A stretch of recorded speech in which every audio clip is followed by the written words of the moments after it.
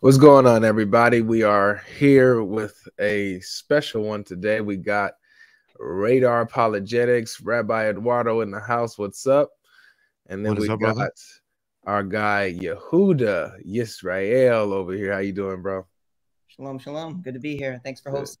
Awesome, awesome. So, guys, we have, as you see in the title, an interesting title today um, between two interesting sides today. So, obviously, for those who do not know, Radar Apologetics is a messianic rabbi, um, and Yehuda Yisrael, uh, and are you Orthodox rabbinic? Yeah, yeah, Orthodox Jew, and so the title is uh, "Is Jesus Necessary for Salvation Today?" I want to give my guests uh, some time to introduce themselves. I'll let our uh, newest guest go first. Yehuda, go ahead, my friend. Introduce yourself. Tell us a little bit about yourself. Yeah, so I'm Yehuda Yisrael. I grew up kind of. I'm a Jew. All my family are Jews. Um, I didn't grow up particularly religious, but later in life, I decided to become more observant. So now I'm a modern Orthodox Jew. And I've just been through my journey of becoming more religious. I have gotten into a lot of dialogues with messianics, Christians, and I wanted to be able to justify why I would become Torah observant. And one of those uh, paths was discussing why I believe, uh, you know, in, in Torah versus the New Testament. So that is going to be kind of the sharing this debate is going to be kind of an expression of, of what I've learned and why I believe, uh, you know, the New Testament not to be something that that Jews follow, and and why I believe the Tanakh to be true, without the uh, New Testament needing to uh, continue something that I don't believe is consistent with the Tanakh. So, sure thing, sure thing. This is why this is going to be so interesting to watch and listen to. Uh, and Rabbi Eduardo, go ahead, give us a little introduction, my friend. What is up, everybody? So my name is Messianic Rabbi Eduardo. Um, I was brought up Catholic, but my family are Spanish Jews from Spain and Portugal, have Jewish heritage. Went back to Judaism when I was 19 years old, Messianic Judaism, of course. Um, I don't claim to be a rabbinic Jew or an Orthodox Jew. I'm a Messianic Jew, so I serve as the associate rabbi of Congregation Bethel Gibor in Bethlehem, Pennsylvania have a wife named Amy, beautiful wife, Robertson Amy, two beautiful little boys. I have three older sons, beautiful as well, but they don't like it when I say they're beautiful. Uh, you know what I mean? And then I also have a YouTube channel called Radar Apologetics, where I answer the questions of the anti missionaries, Islam, all these other things as we start to expand. And that's who I am. So thanks for having me. Amen. Amen. Chief amen. And Yehuda. you know what it is.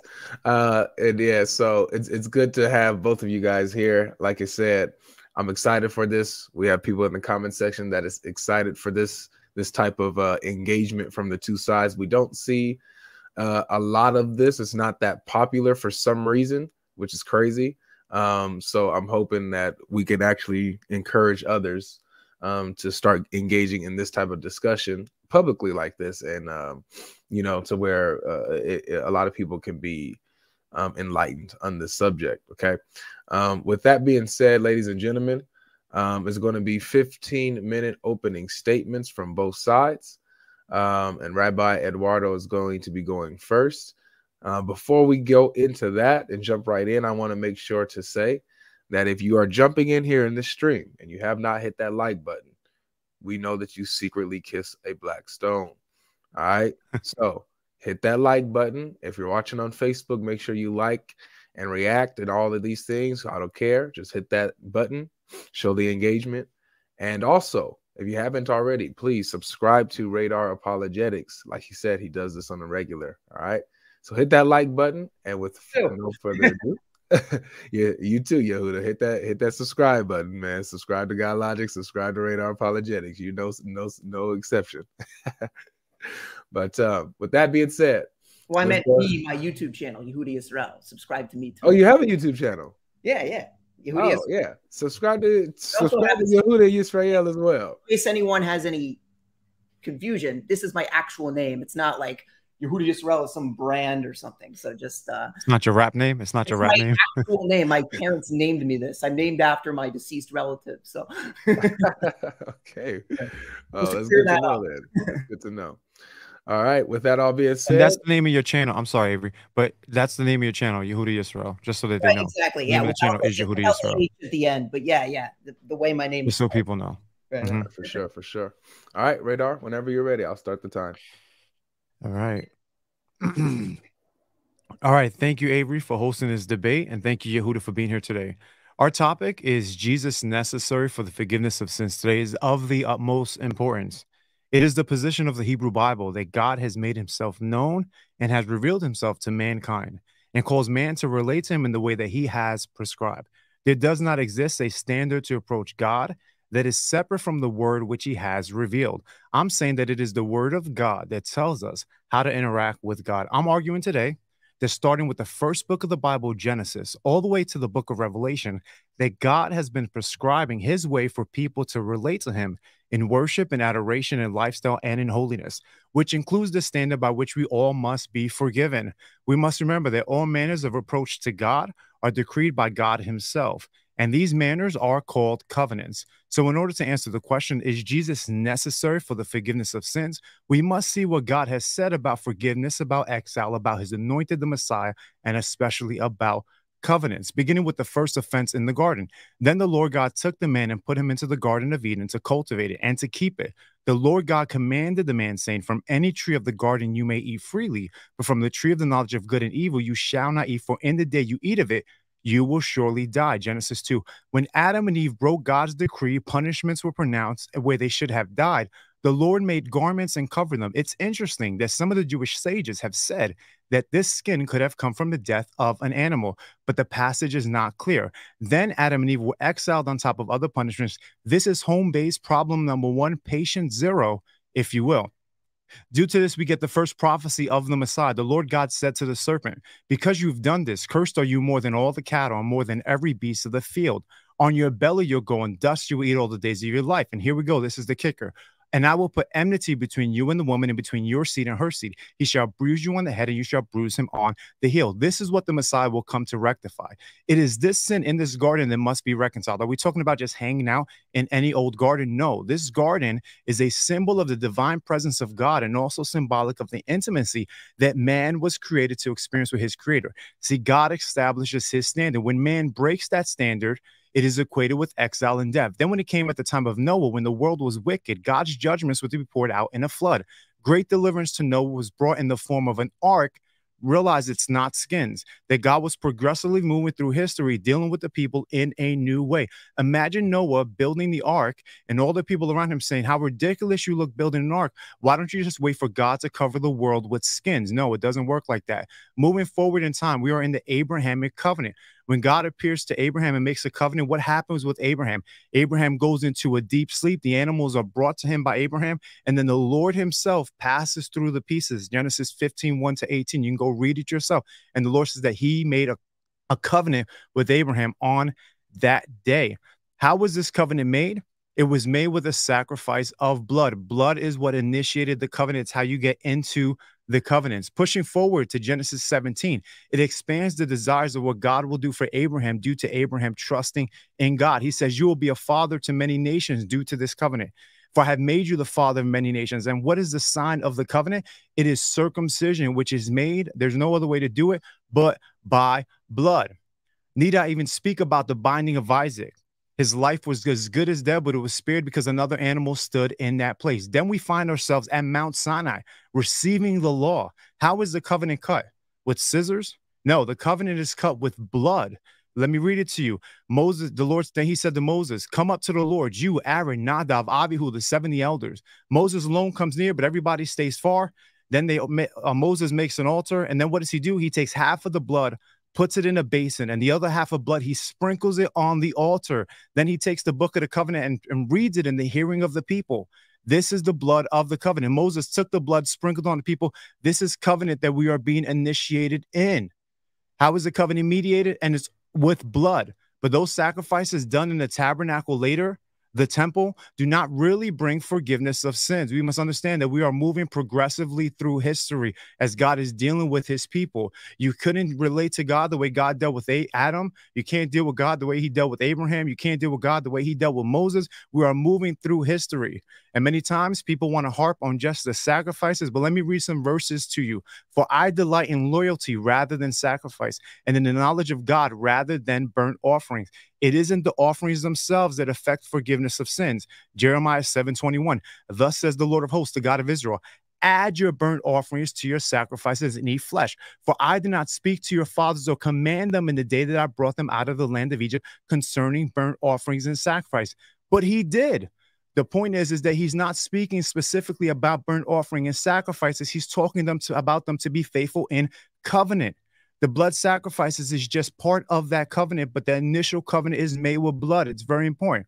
It wasn't the it was the external sacrifice that was leaning the right with the leaning of the right heart towards the governing covenant of the time. Governing covenant is vital. This is language that we'll be using in this debate. The question is, what is the governing covenant today for God's people? It was always hinges on the blood with the, of the governing covenant that was made in that time. So the Jewish writer of the book of Hebrews was correct when he stated, without the shedding of blood, there is no forgiveness of sins, because the blood that is shed is the blood that inaugurates the covenant in every governing covenant. But what shedding of blood was necessary for the forgiveness of sin? Brothers and sisters, it is not the Levitical sacrifice. It is the shed blood of the covenant, which was made out of a bent heart to God. Blood is how we get into the covenant, and blood is also what keeps us inside of the covenant. But it is always the blood that initiates the covenant that is the most important thing. See, the context of Hebrew 9 is covenant. It isn't Levitical sacrifices. So, yes, without the shed blood of the covenant of Abraham, there would be no forgiveness of sins for the Jewish people because that is how they entered into a covenant by being born to the body of Abraham, Isaac, and Jacob. It is even believed because someone would ask, what about the other nations? It is a popular thought and well believed within scholarship that this and within Judaism that the 70 bulls offered during the Feast of Tabernacles are 70 bulls to atone for all of the 70 nations that somehow, while Israel is a kingdom of priests, because of the Abrahamic covenant, they are mediating for the whole entire world for them to be made right with God. So, yes, without the shedding of blood, the initial blood of the Abrahamic covenant and the blood of the Mosaic covenant, which is what inaugurates us into the covenant, there is no forgiveness of sins. It is not the shedding of the blood of the, what's happened specifically in the temple. Rather, it is the blood that inaugurates man into the covenant with the heart leaned towards God. The blood inaugurates the covenant. The formula for return when one sin is found in Leviticus 26 and only echoes what I am saying here. There is no other way to read this than the way that I am presenting it to you that is consistent with all of Scripture. Let's read what it says from Leviticus 26, 33 to 42. You, however, I will scatter among the nations. This is the promise for God's people that they will be scattered. And the land will enjoy its Sabbaths because they were not keeping the Shemitah year, the Sabbath years. While you're in your enemy's land, and the land will enjoy its Sabbaths. All the days, now listen, these 70 years of punishment, which occurs in Babylon, is the 70th year when Daniel gets his prophecy. Don't miss this. This is all intertwined. Many people who say we don't need Yeshua today want to look back to Daniel, but what was the hope of Daniel while he was in exile the 70th year, awaiting the end of the exile to finish? And look at the formula. If you if they confess their iniquity and the iniquity of their fathers in their unfaithfulness which they committed against me, and also in their acting with hostility against me, I also was acting with hostility against them to bring them into the land of their enemies. Or if their uncircumcised heart becomes humble so that they make amends for their iniquity. And so many people stop here to say, we don't need Jesus. Just bend your heart, ask for forgiveness, no, let's keep reading. Then I will remember my covenant with Jacob, and I'll remember my covenant with Isaac and my covenant with Abraham as well. And I will remember the land. Why is it necessary for him to go back to the covenants made with Abraham, Isaac, and Jacob? Because it is in that covenant and in that merit of that governing covenant of the time that they are able to enter into a right standing and forgiveness with God. What is the point of remembering the covenant? That very very purpose. Why it can, why can't they just ask for forgiveness? Why does god the god of israel have to recall to his mind the blood that was shed with the covenant he made with Abraham, Isaac, and Jacob. It's because that is the governing covenant paired with the Mosaic law that was the manner by which man can be made right with God. But what affects it, what is powerful, what really brings the forgiveness is the blood of the covenant that brought them into it. This is God's faithfulness. Why? Because Abraham believed, brothers and sisters, a precursor to the gospel. So, yes, without the shedding of blood, there is no forgiveness of sins. And so this takes me to the main point of my opening statement. The prophets in many places look forward to the seed of Genesis 3 to destroy the work of the serpent and to rectify the fall in the garden. This is the progression of the Hebrew Bible. This is what the prophets are looking forward to. Why is it that many people, and I believe perhaps could be the position of my opponent, have stopped in the prophets, have stopped in the book of Malachi, have stopped at the recounting of Second Chronicles, and are no longer looking forward to what is the governing covenant of today. There is one who was prophesied to be an asham in Isaiah 53, a guilt offering to initiate the new covenant that our fathers broke. The new covenant is made with the blood of the Messiah. This is what inaugurates us in. It's not detached from the Mosaic law, it's not detached from the Abrahamic covenant, but it builds upon it. And man must interact with the covenant that is governing the world today by which God is dealing with his people. Okay. While my opponent may agree that sacrifices with heart attitude together are necessary for the forgiveness of sins, we will not agree on which covenant is governing today, the new or what has preceded it. It is the position of the Hebrew Bible that one must operate in the governing covenant of the time we live in, where the faith of Abraham manifested in the blood of the covenant allowed his children and the whole world to temporarily receive forgiveness and mercy. In 2023, I'm unapologetically saying it is the blood of Yeshua the Messiah, the faithful one, who is the perfect sacrifice and high priest, and whose blood we must rely on. So, to answer the question, is Jesus necessary for the forgiveness of sins today? The answer is an unequivocal yes.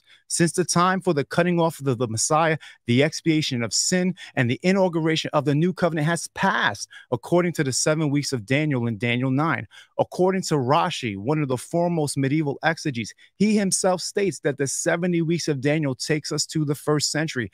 Mind you, sound the alarm. This is the only explicit time in scripture that prophecy is made about something the Messiah will do, gives a timeline, and names the Messiah by name. If there was no new covenant inaugurated by the shed blood of the Messiah in the first century, then sadly, there is no Messiah coming.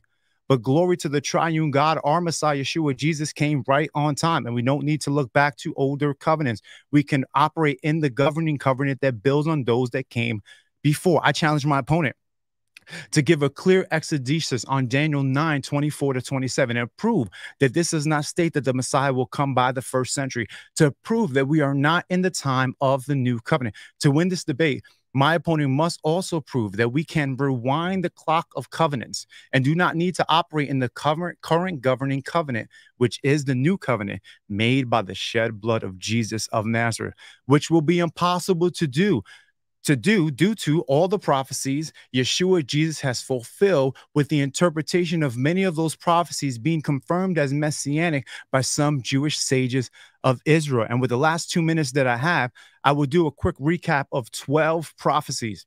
Number one, he had pre existence which is goes to Micah 5 2 and fulfilled in Colossians 1 and Matthew 2. Even the rabbinic source says that the Messiah will be born in Bethlehem. Rashi says it, Sanhedrin 98.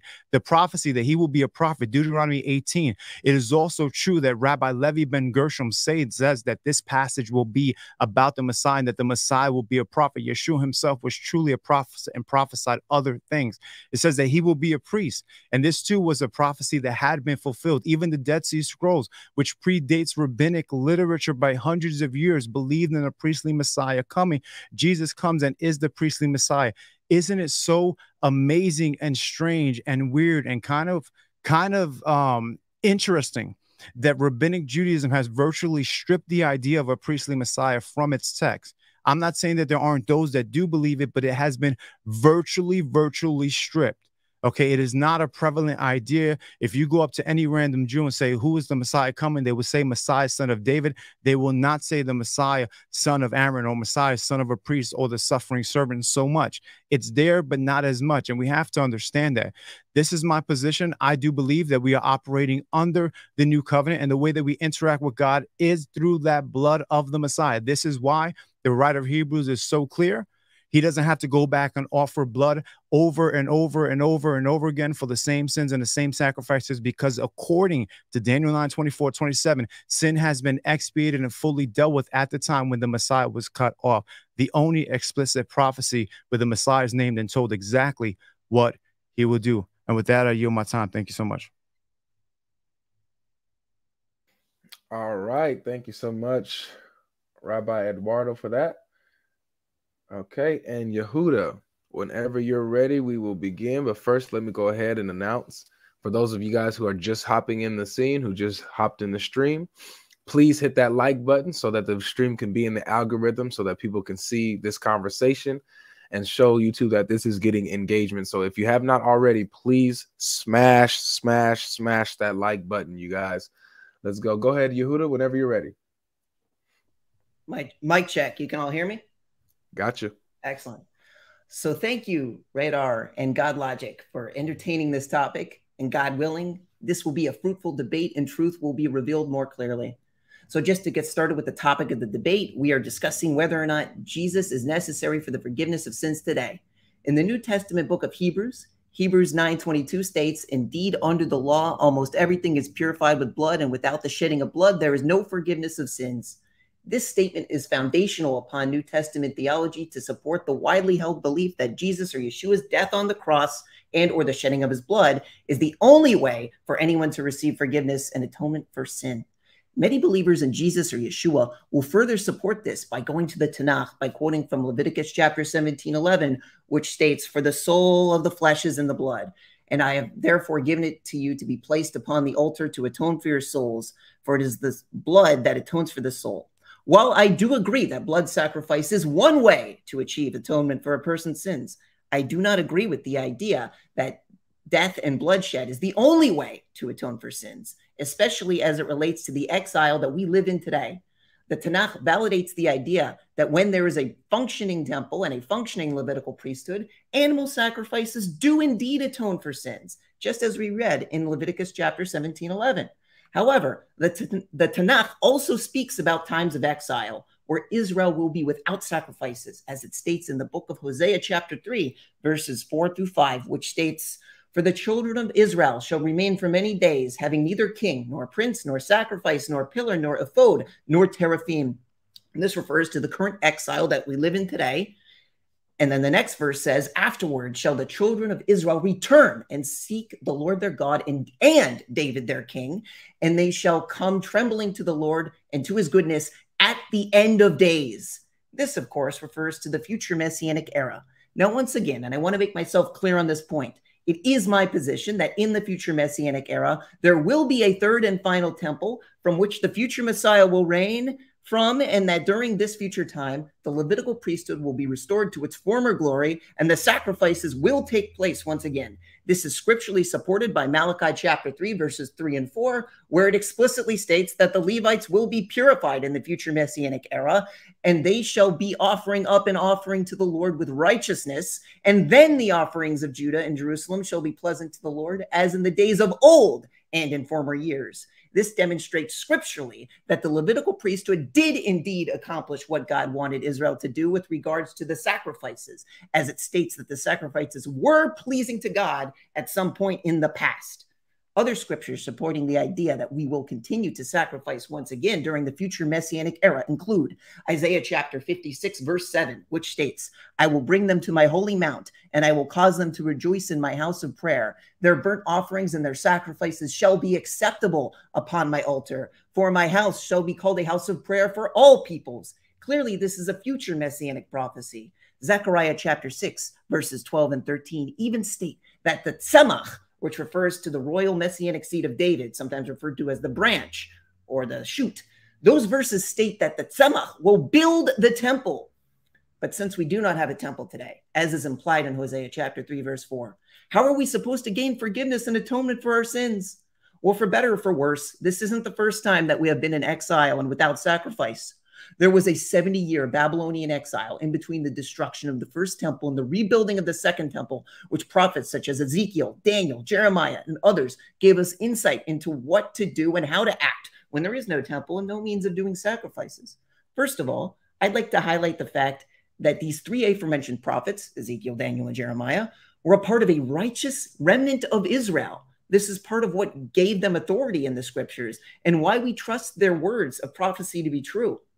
Now, I'd like to highlight a few interesting verses in Ezekiel chapter 4, verses 3 through 6, which describe God instructing Ezekiel to take an iron skillet and lay on his side for a given number of days so that he may bear the iniquities of Israel and Judah. He was instructed to do this for over a year's worth of time.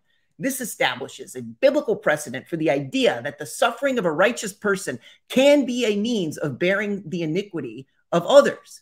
This is further supported by the famous prophecy of the suffering servant of Isaiah chapter 53, who I understand to be the same servant described in Isaiah chapter 49, verses 3 through 6, which explicitly describes the servant as Israel, who initially toils in vain, but eventually restores the rest of Israel which will serve as a light unto the nations in the future messianic era. Once again, I would understand Ezekiel's suffering as well as Jeremiah and Daniel's suffering to fit with their apparent toiling in vain, as they are part of the righteous remnant of Israel described here, who are found throughout every generation, including today. However, none of them appear to have seen the restoration of Jerusalem with the rebuilding of the Second Temple after the 70 year exile. Now, make no mistake, I have no problem with the future Messiah also being a part of this prophecy as well. Yes, that's right. Isaiah 53 2. After all, the Messiah is a part of Israel. In fact, I have no problem with the messianic interpretation regarding any part of the Tanakh, as all scripture, in a sense, points toward a future messianic hope. However, it must also be acknowledged that the Messiah's suffering is not the only means of reconciliation of sin, even from a suffering servant paradigm of thought regarding the Tanakh. If Ezekiel can bear the iniquity of Israel and Judah through his own suffering, according to Ezekiel chapter 4, then we must take this into account when understanding who the suffering servant of Isaiah 53 speaks concerning. Now that we have that out of the way, let's go back to Hosea chapter 3, verses 4 and 5, and answer our original question How do we return to God if we have no means of sacrifice today? Well, Hosea actually gives us a direct answer in Hosea chapter 14, verses 2 and 3. Return, O Israel, to the Lord your God, for you have stumbled in your iniquity. Take words with yourselves and return to the Lord. Say, You shall forgive all iniquity and teach us the good way, and let us render for bulls the offering of our lips. Any way you cut it, the verse explicitly says that God will forgive our iniquity through our words. I don't care how you translate the latter half of the verse, whether it's fruits or paying vows, it just doesn't matter. There is no way around it. God forgives iniquity through our words and prayers. Now, if we go to the, to the actual Torah, it's always good to have a Torah source, right? In Leviticus chapter 26, verses 38 through 45, as my opponent mentioned, God gives Israel specific instructions as to how to reconcile our sins while we are in exile without a temple. To paraphrase for time's sake, it states that Israel can gain appeasement for our iniquities while in exile through our humbling of our hearts and our confession of our sins. Once again, that's Leviticus chapter 26, verses 38 through 45. This is the formula that God gave to Israel to gain appeasement for our iniquities through our humbling of our hearts and our confession of our sin and our sincere repentance to return to God with our words and prayers, just as Hosea chapter 14 says as well. This again is echoed in Jeremiah chapter 29, verses 10 through 14, which states that during the Babylonian exile, Israel shall seek God with all their hearts and pray to God, and that God will hearken to the prayers of Israel and return Israel back to the land of Israel. Once again, we have a formula for reconciliation of sin during times of exile that resulted in the redemption of the remnant of Israel, the rebuilding of the temple after the Babylonian exile as well. Note that there is no mention of the need for Jesus or Yeshua to die on a cross or to have his blood being shed in order for this to happen. Now, just to address the idea of atonement and how it relates to prayer, I can show you an instance where prayer is actually used for atonement. If we go to Second Chronicles chapter 30, verses 18 through 20, we have a situation where the Passover sacrifice is being made during the days of King Hezekiah, and many people from the northern kingdom sinned because they did not purify themselves properly according to the Torah, and they ate of the Passover sacrifice despite this, thereby causing them to sin. It's interesting to note that instead of making another sacrifice to atone for the sins of these people, it was Hezekiah's prayer alone which atoned for the specific sin that these people committed by eating of the Passover sacrifice without being purified according to the Torah. Hezekiah clearly knew this formula of prayer and confession of sin and contrition of the heart to atone for the sins apart from the blood sacrifices. If Hebrews chapter 9, verse 22 were a true statement, then we would expect a separate sin sacrifice would have been made on behalf of the sinners. Clearly, this wasn't the case, and God healed the people based on Hezekiah's prayer alone and not a separate sin sacrifice. But it was actually King Hezekiah's son, King Manasseh, arguably the most idolatrous and wayward king ever to rule over Judah, who truly applied this prayer atoning formula himself when he was exiled to Babylon, as it states in Second Chronicles chapter 33, verses 9 through 13. There is no way around it. It was King Manasseh's prayer and God's acceptance of his prayer, which was what restored King Manasseh to his kingdom and rectified his sin. King Manasseh applied the same formula of humbling his heart and confessing his sin, just as prescribed by the Torah in Leviticus chapter 26. And most importantly for this debate, no blood sacrifice was needed for Manasseh's prayer to be accepted by God. Once again, this is in contrast to Hebrews 9:22. Manasseh didn't need blood sacrifice to be restored to his kingdom, and nor did he need Jesus or Yeshua's blood to be shed on his behalf for God to accept his prayer and restore him back to his kingdom. So, going back to Hosea 3 4, what does this mean for us today? We don't have a king or a sacrifice. So, how do we apply this formula for to our own lives today? Well, Daniel the prophet also lived during the Babylonian exile. And according to Daniel chapter 6, verse 11, Daniel prayed three times a day and faced Jerusalem even in the face of death. Yet God spared his life from the lion's den. And Daniel is even recorded in Ezekiel chapter 14, verse 14, as being righteous. Yet Daniel didn't have a temple. Daniel didn't have a sacrifice. And most importantly to this debate, Daniel didn't have Jesus or Yeshua to die for his sins on the cross. Yet Daniel is recorded as being righteous in scripture. How is this possible? Simple. Daniel knew the formula for forgiveness of sin through prayer and confession of sin and the humbling of the heart and repentance that has been echoed through the aforementioned scriptures of the Hebrew Bible. This is the example that we follow during our current exile with the future hope that just as the righteous remnant of the generation after Daniel was able to go back and rebuild the temple, so too we hope to return through our prayers and repentance, so that we may ultimately fulfill Israel's role to be a light unto the nations in the future messianic era, just as the servant Israel is described in Isaiah chapter 49, verses 3 through 6, as well as Deuteronomy chapter 30, verses 1 through 6, which prescribes the same formula of returning to God through following his Torah, which we already know is through sincere repentance and humbling of our hearts, and returning to God with all our heart and soul through our heartfelt prayers and confession of sin, which will result in the final ingathering of the exiles. And then the Lord your God will circumcise your heart and the heart of your offspring, that you may love the Lord your God with all your heart and all your soul for the sake of your life. Deuteronomy 30, verse 6. If this sounds familiar, it's because it refers to the famous new covenant of Jeremiah, which will occur after God gathers us to the land of Israel. And at that point, all of Israel and Judah shall know God, as it states in Jeremiah 31, verse 33. And no longer shall one teach his neighbor or shall one teach his brother, saying, Know the Lord, for they shall all know me, from their smallest to their greatest, says the Lord. For I will forgive their iniquity and their sin I will no longer remember. Clearly, none of this was accomplished with the death of Jesus and the shedding of his blood on the cross, as evidenced by myself and my opponent trying to teach each other to know God as we speak in this very debate. This demonstrates that Hebrews chapter 9, verse 22 is indeed a false statement, and there are other means of forgiveness of sin outside of blood sacrifice, and of course, the death of Jesus or Yeshua on the cross. Thus, we can see that the core theological claim of the New Testament regarding Jesus or Yeshua's supposed sacrifice on the cross being the only means of forgiveness, atonement, and salvation for mankind is patently false. How do we trust the New Testament when it makes such a serious theological blunder? We can't. On the contrary, according to the Tanakh, the messianic era that we look forward to will be brought about through our sincere repentance and confession of, of sin and humbling of our hearts, described over and over again as the tried and true formula for forgiveness of our sins during the time of exile that we live in today. I would like to conclude with Isaiah chapter 56, verse 7, to highlight our messianic hope for the future third temple.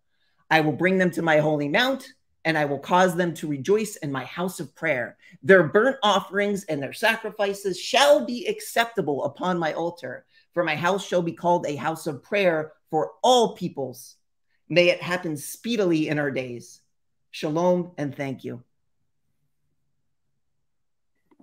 Thank you so much, Yehuda. All right, so now we are going to move into our five minute rebuttal sections. We have over 220 people watching us live right now. So please come on in, guys. If you have not already, hit that like button, smash it, do whatever you got to do. Just make sure you hit it so that it, we can be in the algorithm and YouTube could see that we're having a good discussion because a lot of people need to see this uh this type of video and this type of discussion. Okay, so if you have not already, please hit that like button. Doesn't matter which side you're on. Make sure this video gets into the algorithm. All right, five minute rebuttals. Let me set the timer whenever you're ready, Rabbi.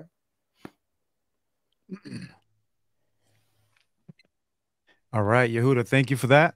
And thank you again, Sheikh Logic, for uh, holding it down, my brother. I appreciate that. So, Yehuda has missed the point of this debate. Okay, the debate thesis is not have there been multiple methods of sacrifice in Israel's history?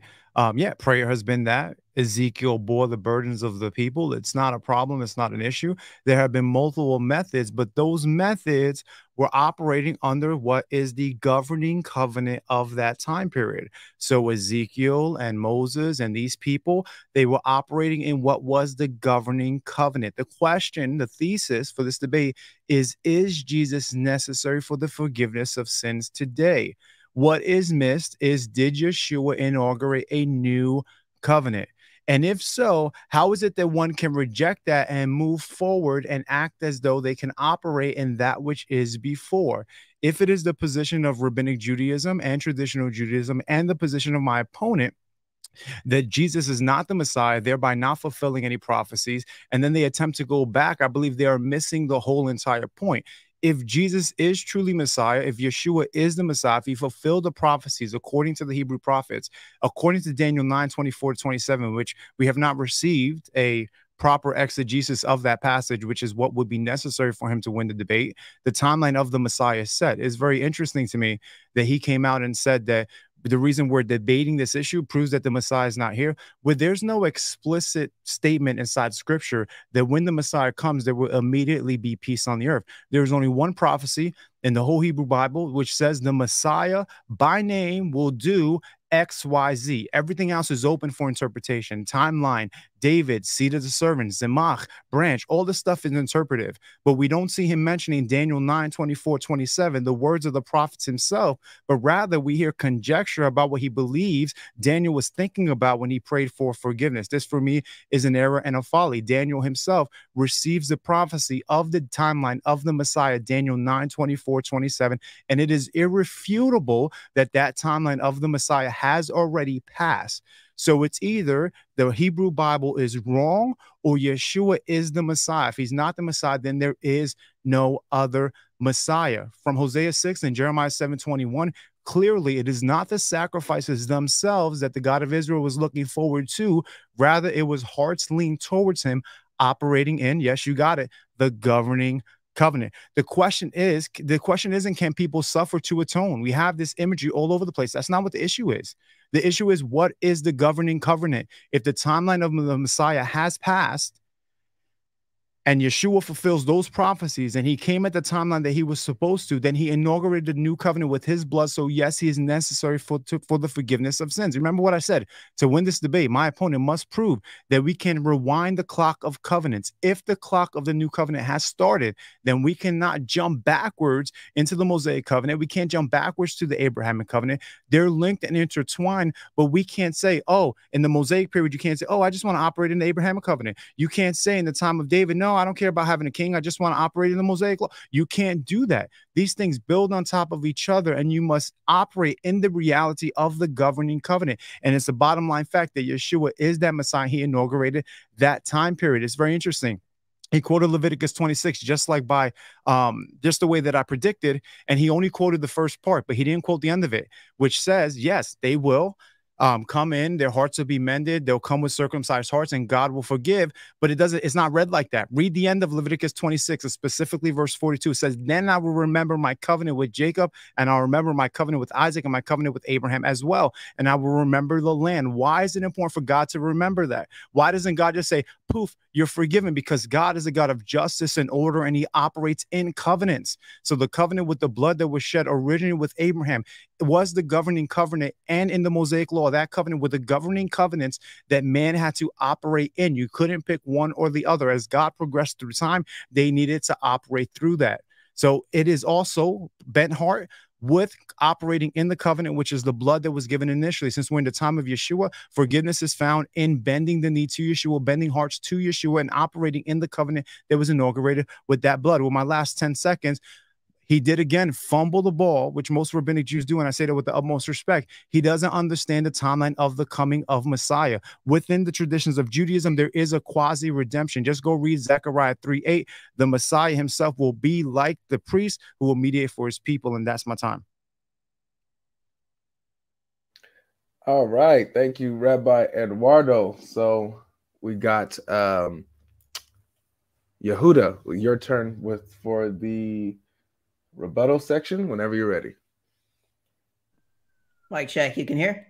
Yep. Great. So my opponent's position is that Yeshua's death on the cross is the only means of forgiveness of sin today.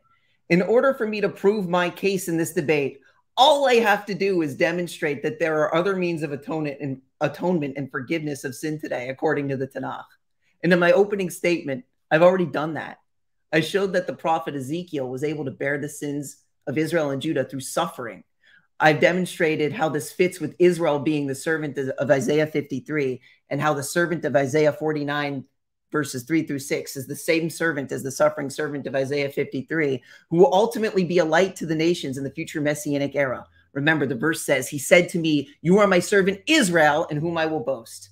I've demonstrated that the Tanakh provides an alternative formula for reconciliation of sin during times of exile, which includes confession of sins and humbling of the heart and sincere repentance through the following of the Torah. Clearly, the prophets, like Daniel, who lived during the Babylonian exile, didn't need the blood of Jesus to be shed on their behalf in order to achieve righteousness. So, why can't we apply this remedy for forgiveness of sin during this uh, exile, just as the Tanakh prescribes? We can. And the Torah even tells us exactly that in Deuteronomy chapter 30, verses 10 through 14. When you obey the Lord your God to observe his commandments and his statutes, statutes written on this Torah scroll, that when you return to the Lord your God with all your heart and all your soul, for this commandment which I command you this day is not concealed from you, nor is it far away, nor is it in heaven that you should say, Who will go up to heaven and fetch it for us to tell it to us that we can fulfill it? Nor is it beyond the sea that you should say, Who can cross to the other side of the sea and fetch it for us to tell us that we can fulfill it? Rather, this is very close to you. It is in your mouth and in your heart so that you can fulfill it. Once again, notice that Jesus' death on the cross is not necessary in order for us to, to perform these commandments of the Torah properly if my opponent wants to argue other, otherwise, then he will have to prove that according to the Tanakh, that the only way for mankind to receive forgiveness of our sins is to believe that the bloodshed and the death and or resurrection of a supposed sinless man is the only way to receive forgiveness of sin. Clearly, God says otherwise, according to the Tanakh. And just to reiterate again, my position is that during times of exile like today, we do not need to rely upon the blood sacrificial system of the temple to receive forgiveness and atonement for our sins. However, I do believe that the sacrificial system will come back once again in the future messianic era, as I've already demonstrated use, using scripture from my opening statement. This will happen after Israel is gathered back to the land and God circumcises our hearts, just as Deuteronomy chapter 30 states. And this is the new covenant of Jeremiah 31. For this is the covenant that I will form with the house of Judah after those days, says the Lord. I will place my law in their midst, and I will inscribe it upon their hearts, and I will be their God, and they shall be my people. The primary difference between the Mosaic covenant and the new covenant of Jeremiah is that God himself will put the law on the hearts, all of the hearts of Israel, so that we will not have to teach the law to each other. You see, under the Mosaic covenant, we are required to teach the law to each other. And I believe Deuteronomy chapter 6, verse 6 through 7 demonstrates this most clearly. And these words which I command you this day shall be upon your heart. So the Mosaic covenant is also a covenant of the heart. But here's the difference. And you shall teach them to your sons and speak of them when you sit in your house and when you walk on your way and when you lie down and when you rise up. Contrast this with the next verse in Jeremiah chapter 31 regarding the new covenant. And no longer shall one teach his neighbor or shall one teach his brother, saying, Know the Lord, for they will all know me from their smallest to their greatest, says the Lord. For I will forgive their iniquity, and their sin I will no longer remember. The shedding of Jesus' blood and his death on the cross did not accomplish any of this regarding the future promises of the new covenant of Jeremiah. Once again, if Jesus' bloodshed and death on the cross did accomplish this, then my opponent and I wouldn't be having this debate now, and other Messianic Jews, New Testament believing Christians like Dr. Michael Brown, Chosen People Ministries, and One for Israel wouldn't be trying to teach Jews to know Jesus or Yeshua, who they claim to be their Lord and Savior. In other words, if the new covenant were actually fulfilled by Jesus or Yeshua, then we wouldn't need Radar Apologetics or any other apologetics organization to, de- to teach Jews to know the Lord. For we would all know the Lord, from the greatest of us to the least of us. Instead, the New Testament's testimony of Jesus or Yeshua simply serves as a useless spiritual placebo that doesn't fix the problem of sin in the world today. Thank you. All right. Thank you so much for that. With time to spare, too, man. You guys are good with this. All right. So, the next section that we're going into is my favorite section of all time. We are going into the cross examination, 10 minutes each. So, it'll start with Rabbi Eduardo, who will be asking the questions to Yehuda, and Yehuda will be answering, and this, and then vice versa. Yehuda will also get 10 minutes to do the same to um, Rabbi Eduardo uh, just before we go into this next session again guys hit that like button. We have about 250 people watching now so let's make sure we get the likes up so that we can uh, make sure the video is in the algorithm all right? If you're enjoying this conversation please take the second right now take the second if you haven't already take the second to hit that like button if you're enjoying this conversation if you're being blessed by this all right? Okay without further ado 10 minutes to cross examination Rabbi Eduardo will be going first whenever you're ready, my man. Thank you so much. Yehuda, how are you, brother? Shalom, shalom. Great. Great to... Shalom. Good, man. Thanks for being here, brother. I have a question for you. A few questions, but when God called Noah and told him to build an ark, would it have been appropriate for him to ask for skins to cover the people of the world the way that God did in the garden? Why why not? Um, I mean, would it have been appropriate? I mean, you're basing this off of, I think, what you mentioned earlier. I just answer the question, brother. You know, I mean, it, yeah, why, yeah. Why not? Have been. I mean, it's a vague question. Like, would it have been appropriate? I mean, I wouldn't. uh If if, if you, I mean. If, so let me rephrase. Why did Noah have to build the ark? Why couldn't God just make skins for the whole world? Why couldn't he make skins for the whole world? Yeah, because that's what he did in the garden. That's how he dealt with sin in the garden why can't he deal with sin for the whole world the same way he dealt with it in the garden? Right, right. So, I mean, I guess in theory, that could have been a possibility if you wanted to. so to. would have been okay? It would have been okay for Noah to say, no, I don't want to build an ark. I'd rather have you make skins for the world. I think the point you're trying to make is that he had a no, no. Please answer the question, brother. Please. Yeah, please. yeah he had a specific command from God that he needed to do in his time, right? That's so he had to follow God's command. Right. Exactly. Yes. Yeah, absolutely. Okay. So yeah. when God called when God called Abraham and said, "Go from your place to where I show you," would have been would God have been pleased with Abraham saying, "Nah, I'm just going to build an ark." Why or why not? Right. Yeah. So I agree within the time frame that these individuals are we're, we're in agreement on on this general point please, that, just answer the question my yeah, brother yeah please. i agree it would have been he he is following what god although it's interesting because he does question. Please, brother, please answer. Oh, no, oh, why, I am, would it I be, the yeah. question because Abraham he does question God at one point, but you, you know it's Sodom and Gomorrah. But aside, but it wasn't that, okay for him. Yeah, but that's different. I'm talking about why mm-hmm. couldn't he say I want to operate in the Noah Noah yeah, covenant? Because he's operating within the context that God commanded him. He had to operate in the covenant of his time, correct? Exactly.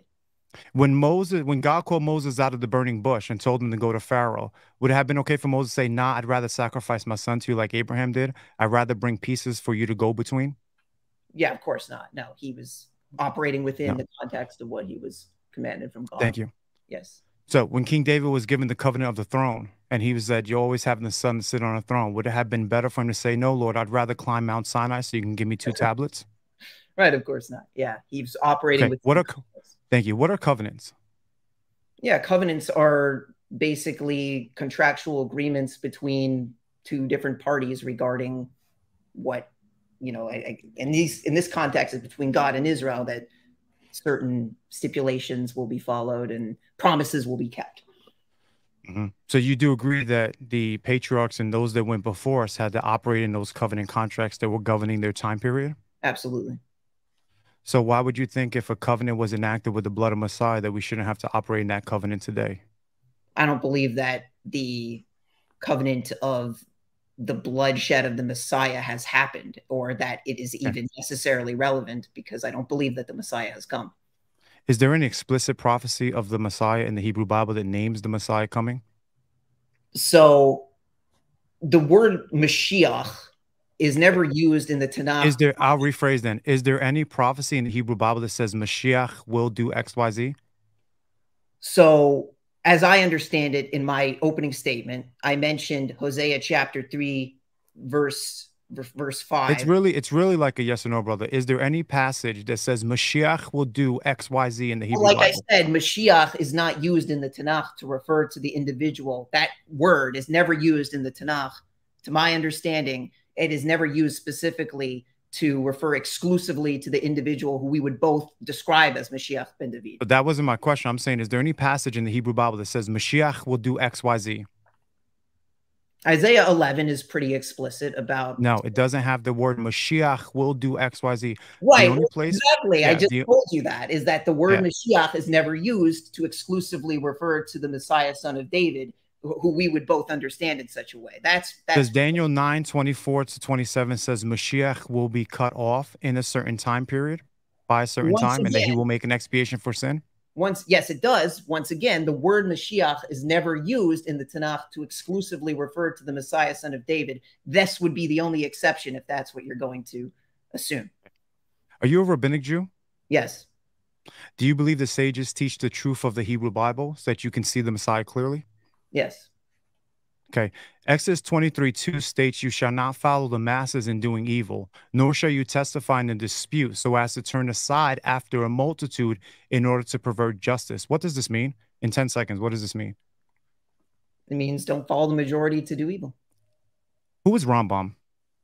rambam was a rabbinic scholar who compiled uh, books such as the mishnah torah the Okay. he was he was Do you a know that? Do you Yeah. know when Rambam reads Exodus 23 2, he says to follow the majority and literally changes the words of Exodus 23 2? yeah i'm aware Okay, so you, but you said you use the you believe the sages teach the truth of the Hebrew Bible so that you can see the Messiah clearly, i do but you thought you believe that another Rambam who reads the text is telling you the opposite of what the passage says clearly. i believe think he's teaching you the truth? Yeah, so I believe that the sages of the, you know, the, the Chazal, whatever you want to call it, you know, like the the, the rabbis, at the very Mhm. least, provide a clearer picture of truth than the New Testament authors. I So will- that's not the question I asked you. I said, do you believe that Rambam is teaching the truth of what the Hebrew Bible says? Because the, T- the Tanakh says one thing, Rambam changes it. You believe he's still teaching the truth? well, you asked with regards to the Messiah, even the Rambam. No, will- no. This is what I'm asking. I'm asking you about this passage. Do, Yeah, do, yeah, do you? yeah, I, I he teaches truth, even though he's changing the words of God. He's teaching the truth. You would say yes.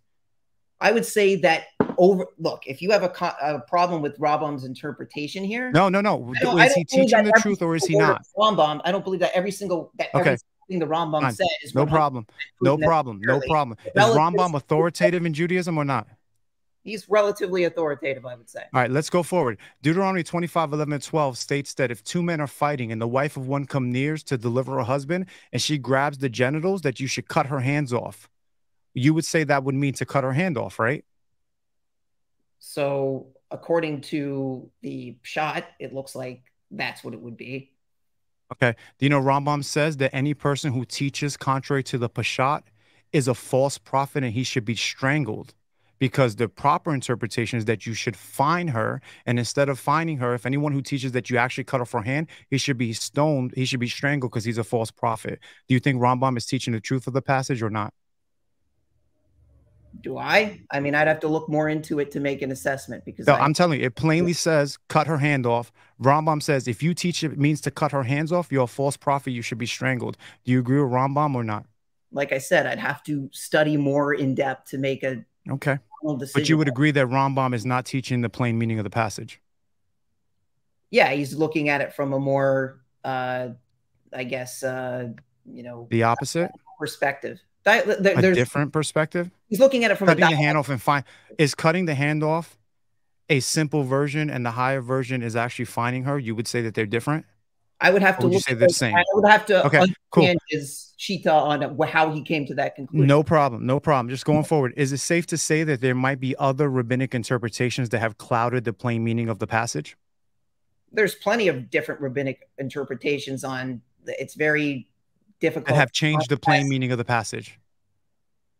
On some level, depending on what. Okay. Do you okay? My next question: Would you would you then agree that it's possible that some of the rabbis who you follow's reading of the Hebrew Bible have clouded your understanding of the rabbinic of the biblical passages so much so that you can't even recognize the timeline of the coming of the Messiah to recognize that we are indeed in the new covenant? No, because the rabbis recognize that every generation there's some potential for the Messiah to come. If So my point is, my point is, is that the rabbis are specifically in two places clouding the plain meaning of the passage. And you yourself said, rewind the tape, that you use the sages to help you understand what the Tanakh says. But if the sages are clouding the plain meaning of the passage, is it possible that you cannot recognize what the Messiah should be doing? Therefore, you can't recognize that we're in the new covenant. I would say relative to the New Testament, no, because I believe that the No, no, no. This isn't about the New Testament. This is. A, I asked you a question, brother. This is my Do you think it's possible? Do you think, last question, do you think it's possible that the rabbis have clouded the plain meaning of the passage so much so that you can't even recognize that Yeshua is the Messiah and fulfilled the plain prophecies and that we are indeed in the governing new covenant? No, because when you look at the actual meaning of the text very clearly, I don't have to, I didn't use rabbis, for example, anywhere in my what I I didn't say you did use rabbis. I'm saying you do use rabbis because the way that you're using rabbis is in the timeline because you can't push shot level find the timeline of the coming of the Messiah the way you represented it. The reason why I use rabbis is because I made a comparison between what what the uh, New Testament says versus what the rabbis say, and I found the rabbis to be more consistent with the Tanakh. That's my official reason why I follow rabbis. All right. Thank you so much. That was that was fun. This is why this is my favorite part of the discussion. I would rather have honestly an hour stream of cross-examination of just discussion like that. Cause that's just I, I love the interaction, man. I, I really do. So Yehuda, it is now your turn. You have 10 minutes. Before you start, though, I'm going to say again, addressing the people, if you're enjoying this dialogue, if you're enjoying this conversation, please subscribe to Radar Apologetics, subscribe to Yehuda Yisrael subscribe to God Logic Apologetics, yours truly by the grace of God. And uh, make sure you hit that like button if you haven't already. We have almost 300 people in here watching. Let's get these likes up to match the viewership and go beyond even the viewership. Okay. God bless you guys. All right, Yehuda, 10 minutes whenever you start speaking. All right, Radar. Do you believe that the only way for us to receive forgiveness and atonement for our sins today is through the shedding of Jesus or Yeshua's blood and or his death on the cross? I believe the way that we receive forgiveness of sins in 2023 is by operating in the governing covenant. Is that through Jesus' death on the cross? The blood, that covenant was inaugurated with the shed blood of the Messiah. Yes. Okay. Can you provide an explicit explicit statement in the Tanakh where God prescribes the shedding of Jesus' blood and or his death on the cross as the only way for us That- to receive forgiveness and atonement That- for sins today? That was that wasn't my statement. Just like in our cross examine, I asked you if we can retro So I asked you a ourselves. question. Can you provide an explicit statement? It's yes or no. I can, I can. There are explicit statements that state that you must operate in the covenant, just Where like Leviticus 26. Blood Levit- is the only way Levit- to atone for sin. Show. Leviticus 26. Leviticus 26. I did that is not see you're forcing the question on me, and what I'm I'm, not asking saying the is question. This is my Q and A. You have to answer yes it or is no. your question. Is there an So say it again, say it this is the again, say it again, because I want to I want to be I want to be topic of the sure. Yes or no? I want to be sure that I'm hearing you carefully. I, want- I want to be sure that I'm hearing you carefully. Can you just repeat the question real quick? Yes. Can you provide an explicit statement in the Tanakh where God prescribes the shedding of Jesus' blood and or Jesus' death on the cross as the only way for us to receive forgiveness and atonement for our sins today. Simple. Well, yes I think things like well, things like that are not explicitly stated in Exactly, the Hebrew Bible. So, So hold on for a second. that's- So hold- that's Let, let him, let him, let him, let him, let him give his no. response. Uh, Do Ye- it. Yehuda, So- you gotta let him give his response. He answered no. That's the answer. Yeah, you- you so gotta no, but hold flesh it on, but out. it is it isn't that simple because we only have one passage of when the Messiah will do X, Y, Z, and I think it's funny that we'll you're willing to to that. push We will off the that. Prophecy more when I, questions. I think it's funny that you push off the prophecy where it says Mashiach will do X, Y, Z, I- and you push this that is off and you don't care about and that answer. and you push it. Why are you yelling, brother? Why you is asked for? an So, answer. all right, I'm Yeah, pausing your why are time. you yelling, I'm, brother? I'm pausing your time. Yehuda, I'm, I paused your time because look, look, because I don't want your time wasted. I want you to be able to fully get out your questions. But if you're asking a question, you gotta let the man answer as well. Like he, it's not just a no. Then oh, he all right. You can cut him off right there. Like he, he let you flush out your answers too. There Sure. are some. There are some that were just yes, yes or no. Like, is there a verse? Yes or no? No or yes? The answer and he no. gives his response, right? So So can we Let- agree that Hosea chapter three, verse four, on, states just- I gotta letting you answer know- your previous question though. just- wait, hold on. Just just you letting said you know. I'm no. about- That I'm- is your answer. Yehuda, Yehuda. statement. I'm about to I'm about to start your time again. So you have you have eight minutes left or 758 left. Okay. Um, go ahead. All right. So you asked a question about explicit statements about Jesus. We don't have any explicit statements even about the Messiah. So to look at that is even the false premise. What we do have is the model of the Hebrew Bible that God interacts with his people in covenants, in governing covenants. He laid prophecies to unravel covenants. Every covenant, you yourself admitted it would be ridiculous for people to go back into the covenant previously. They had to operate. You yourself said that they had to operate in the covenant of their time. So if Yeshua is the Messiah, if he fulfilled the prophecies, which can clearly be demonstrated, he fulfilled the timeline of the coming of the Messiah, then indeed he is the Messiah. It's it's not it's not a problem, it's not an issue. God operates in covenants, not just shed bloodness. The shed bloodness is what brings us into the covenant. It's not the actual sacrifices. All right. Since we're wasting time, do you understand Daniel nine twenty six regarding the end of transgression, sin of, of sin to refer to the shedding of Jesus' blood and death on the cross? I think it specifically says that the Messiah will be cut off and that this work of the Messiah is what brings the expiation of sin that will be dealt with in Daniel 9 24 to 27, which is the only prophecy of what we see a Messiah doing. Do you understand Daniel nine twenty four to refer to the initiation of the new covenant of Jeremiah 31? I see Daniel 9 24 to 27 as being the initiation of the new covenant within the timeline of what the new covenant is supposed to do at the time period that's supposed to be unraveled. It's not an issue. Other than your position on the chronology of the new covenant needing to be initiated before the destruction of the second temple in Daniel 9, can you show me anywhere else in the Tanakh where the new covenant is indicated to be initiated before the destruction of the second temple? I don't think I think one prophecy is good enough to show that.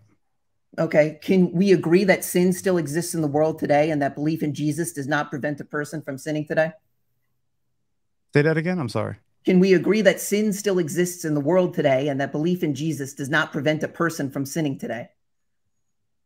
Belief in Jesus does not, but you're presupposing the wrong timeline Do you believe based upon that the word interpretation of the rabbis. Do you believe that the word Mashiach, this this Mashiach who is cut off in Daniel uh, nine twenty six, refers to the death and the shedding of the blood of Jesus on the cross? I do. Can you show me anywhere else in the Tanakh other than your interpretation of Daniel 9 where the Hebrew word Mashiach is used to refer exclusively to the Messiah, son of David, and no one else? Can I say it again? I'm sorry, man. Can you say show me anywhere else in the Tanakh other than your interpretation of Daniel 9 where the Hebrew word Mashiach is used to exclusively refer to the Messiah, son of David, and no one else? Yehuda, you presuppose the wrong ideas, brother. Your exegesis is way Pretty off. That- that's right? my answer. I'm going to answer you. I'm going to answer you. I'm going to answer you. So the first time we hear the word Mashiach ever is based upon what the priest does. Okay. Zechariah also, it talks about that the one that the one who sits in front of you, the the branch who's going to come, which is unequivocally the Messiah, that the priests are going to be a sign of it. What does the priest do? Does he come and sit on a throne? No, the priest serves, he mediates, he gives himself, he works for the people his whole life. This is what the model we have with the Levitical priesthood. Why are you expecting to see these things so black and white and plain? Sound the alarm. The Messiah is going to do XYZ. The only time is in Daniel 9 24 to 27, which you have not given a proper exegesis of. And the timeline is coming, how can it be? Is a generic word in the Tanakh that refers to being anointed, which can refer to the anointing of generic prophets, objects, high priests, even Gentile kings like It King is- Cyrus, and is not No. a specific identifier unique to the Messiah, son of David, in the Tanakh. When you Because see you're the word Mashiach, show me anywhere else in the Tanakh where When the you word see is Mashiach- used in that way. Show me when one you see other Mashiach, I'm, I'm, I'm trying to. When you see Mashiach, specifically refers to when you see. Mashiach, Yehuda, when you see Mashiach and you see that word there, okay, and it says that the anointed priest, Kohen Mashiach, when you see him sitting there, this is generic. This is saying there's a generic priestly Messiah who's going to do these things, X, Y, Z, that there's one who's going to do this. This is an anointed priest. Clearly, we know it's generic. This is context, brother. This is exegesis 101. This is a simple approach to the text. But when it says the Messiah will come, the Messiah is coming. This one who will be right. cut off. This one who will bring expiation of sin. He is the one who is to come. The context of the passage tells us that it is one that is unique and different. The same thing with Isaiah 53. The same thing in the passage. The context tells us that it's focusing on one individual who will give himself, who will die, and who will see his offspring. Questions and you're going on and on. So I want to be able to. You asked me a question, I'm answering, brother. Please, How man. we- you asked me a question, I'm answering it, man. I'm trying to. agree- I'm- stop. Can we agree? I'm trying to keep it coolly with you. I'm trying to keep it coolly with you, and you're yelling, brother. Calm we down. Let's- let's let him ask- let's let him ask his verse question. Four states that Israel will have an experience, uh, will experience an exile for many years, where we will not have a king or a sacrifice. I don't know what your question is. I'm sorry to hear. We agree that Hosea chapter 3, verse 4 states that Israel will experience an exile for many years where we will not have a king or a sacrifice. Um, yeah. Do you believe that we are living in this state of exile today? Yeah. We both agree that Hosea chapter 3, verse 5 says that David, their king, that this refers to the future messianic king who will rule at the end of days, as the verse explicitly states. I think this the David the King who is to come, you know, mm-hmm. Who is, is, the Messiah who would come. And he came in the first century the way Daniel 9, 24 to 27 came. Even though it says, can we agree that Hosea chapter 3, verse 5 gives us no indication that David, their king, aka the son of Messiah, son of David, must come before the final exile that we find ourselves in today? Oh, oh uh, uh, Yehuda, there's more than one verse in the Bible. So Yeah, we need to let them communicate with each other, is what I'm saying. I'm talking about this So, verse specifically. These verses. Every verse is not exhaustive about every single thing. You have to line the passages I up. agree. Does this we verse, agree- I agree. you have to, We agree that Hosea chapter 14, verses 2 through 3, gives us a clear formula of how we are supposed to return to God, and that this includes using our words to supplicate God for our forgiveness of our sins. Here's my answer. Hosea is not more authoritative than the book of Leviticus, which says that forgiveness is found rooted in the governing covenant of that time, the covenant of Abraham, Isaac, and Jacob that shed blood. And now we are in the governing covenant of Messiah Yeshua, Jesus of Nazareth. Can we agree that Abraham, that Abraham, with the covenant between the pieces, had nothing to do with Abraham using the blood of Jesus to make that covenant? I think that's a crazy claim to say it has nothing to do with it. If their covenant is building upon each other, then they have to do they have to deal with one another. God isn't popping in the middle of history, coming up with doing different things. can we agree that the faith of Abraham was not described as being the faith of believing that Jesus died of his sin, died for his sins? When we I don't know if I, c- I Genesis, don't know if I could agree with that. I, I mean, Jesus himself says Abraham longed to see my day. Show me in the scripture where Abraham believed God that Jesus died for his sins. Well, I think it's very interesting that in Genesis, where Abraham is told about the seed and about the land, when Rashi Abraham goes and offers a sacrifice because of his thankfulness to God, I think it's interesting that when Rashi talks about that scenario, that he says that Abraham did this because of the gospel of the seed and of the land. Yes, and none of that had to do with Jesus dying for his sins. look, So I'm not saying it has to or that- not. I'm just saying it's interesting that Rashi is using that language, and I think it's paired with the hope that Abraham had, which of the seed that will recognize re- reconcile the fall in the garden. And I'm sure your five minutes have been over a long time ago. You got 20 seconds left. Can we agree that in contrast to Hosea chapter 3, verse 5, which we previously agreed identifies the Messiah as David their king, who will rule at the end of days, Daniel 9:26 gives no explicit indication that this Mashiach who was cut off must have been of the house of David. I have no idea what your question means. I'm sorry. Well, that's Well, That's I, I think I deserve an answer for asking it. Can we I can't agree? answer a question that you didn't articulate clearly for me to understand. We agree that, that in contrast, but, Hosea, we that both is, that is time. That is time, guys. Uh, but, uh, will he be able to answer my question though? Oh, maybe maybe somebody can bring it up in the Q and A. Well, the, the time is up. This is important because I think I think he uh, was not uh, just because he doesn't understand a question. I think it's important that he is able to I'm willing there. to take 10 seconds and try to answer it if he wants okay, to ask it. So in Avery, okay if, Avery, if Avery's okay with it, if Avery's okay with that. Yeah, I'm, I'm, I'm perfectly fine. Hosea chapter 3, verse 5, when it says David their king, that that refers exclusively to the Messiah, son of David, and no one else, right? Um, yeah, I think so. Exactly. Who will rule at the end of days. Now, Daniel 9 26, right? It doesn't mention David anywhere, right? It gave no uh-huh. explicit indication that this Mashiach, right, who we agree is a generic word that is not exclusive to the Messiah anywhere else in the Tanakh, right? Yet you claim it refers to the Messiah, son of David, yet you can't provide any other scripture that would say that Mashiach, the Hebrew word Mashiach, refers exclusively to the Messiah, son of David. Yet we can't agree that David, their king, is exclusive to the Mashiach, son of David. Why are we able to agree there, but here we can't agree. Is this a question or a monologue? No, I'm asking you. Why do you think? You asked me. Your first question to me was, "Why do you think? Do you think it would be okay if Noah uh, asked this question hypothetically about sacrificing animals?" I'm asking you, why do you think we are able to agree that David, their king, who will rule at the end of days in Hosea chapter 3, verse 5, is exclusive to the Messiah, yet we can't agree that this Mashiach mentioned in uh, Daniel 9:26 refers exclusively to the Messiah, son of David.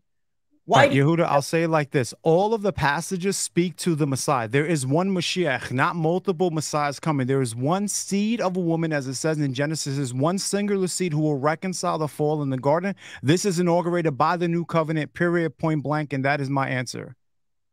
Thank you. All right. So, all right, cool. We got that out the way. So now we're going into the next section, which is our five minute rebuttals. Again, I wish that you guys no, close, put... close, close, close. Oh yeah, yeah. Five minute closing. Five minute closing.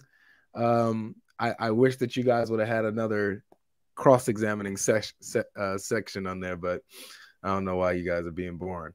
Anyway, we could do another one another one next time. We'll uh, we'll schedule. No, I have topic. plenty more questions to ask. If you want to, sure. You, you, you, it, nah, nah, I can't today. I can't. I can't do another. You have you have to come back, bro. You have to come back and do this again. So we were like part two or something. Like we got to continue this. Yeah, these sure. cross examinations were not long enough. That was partly what was frustrating about this. I have like a whole slew of questions that I wanted to get to, and I that you can only do in a short short amount of time. That's what I'm talking about. Like this, the cross examination should be the longest part of the debate, in my opinion. Right. Like opening statements and then straight to back and forth, in my opinion. But okay. All right. So um, hit that like button, guys. Uh, we have almost 400 people in here. God bless each and every one of you. If you forgot to do it, please do it right now.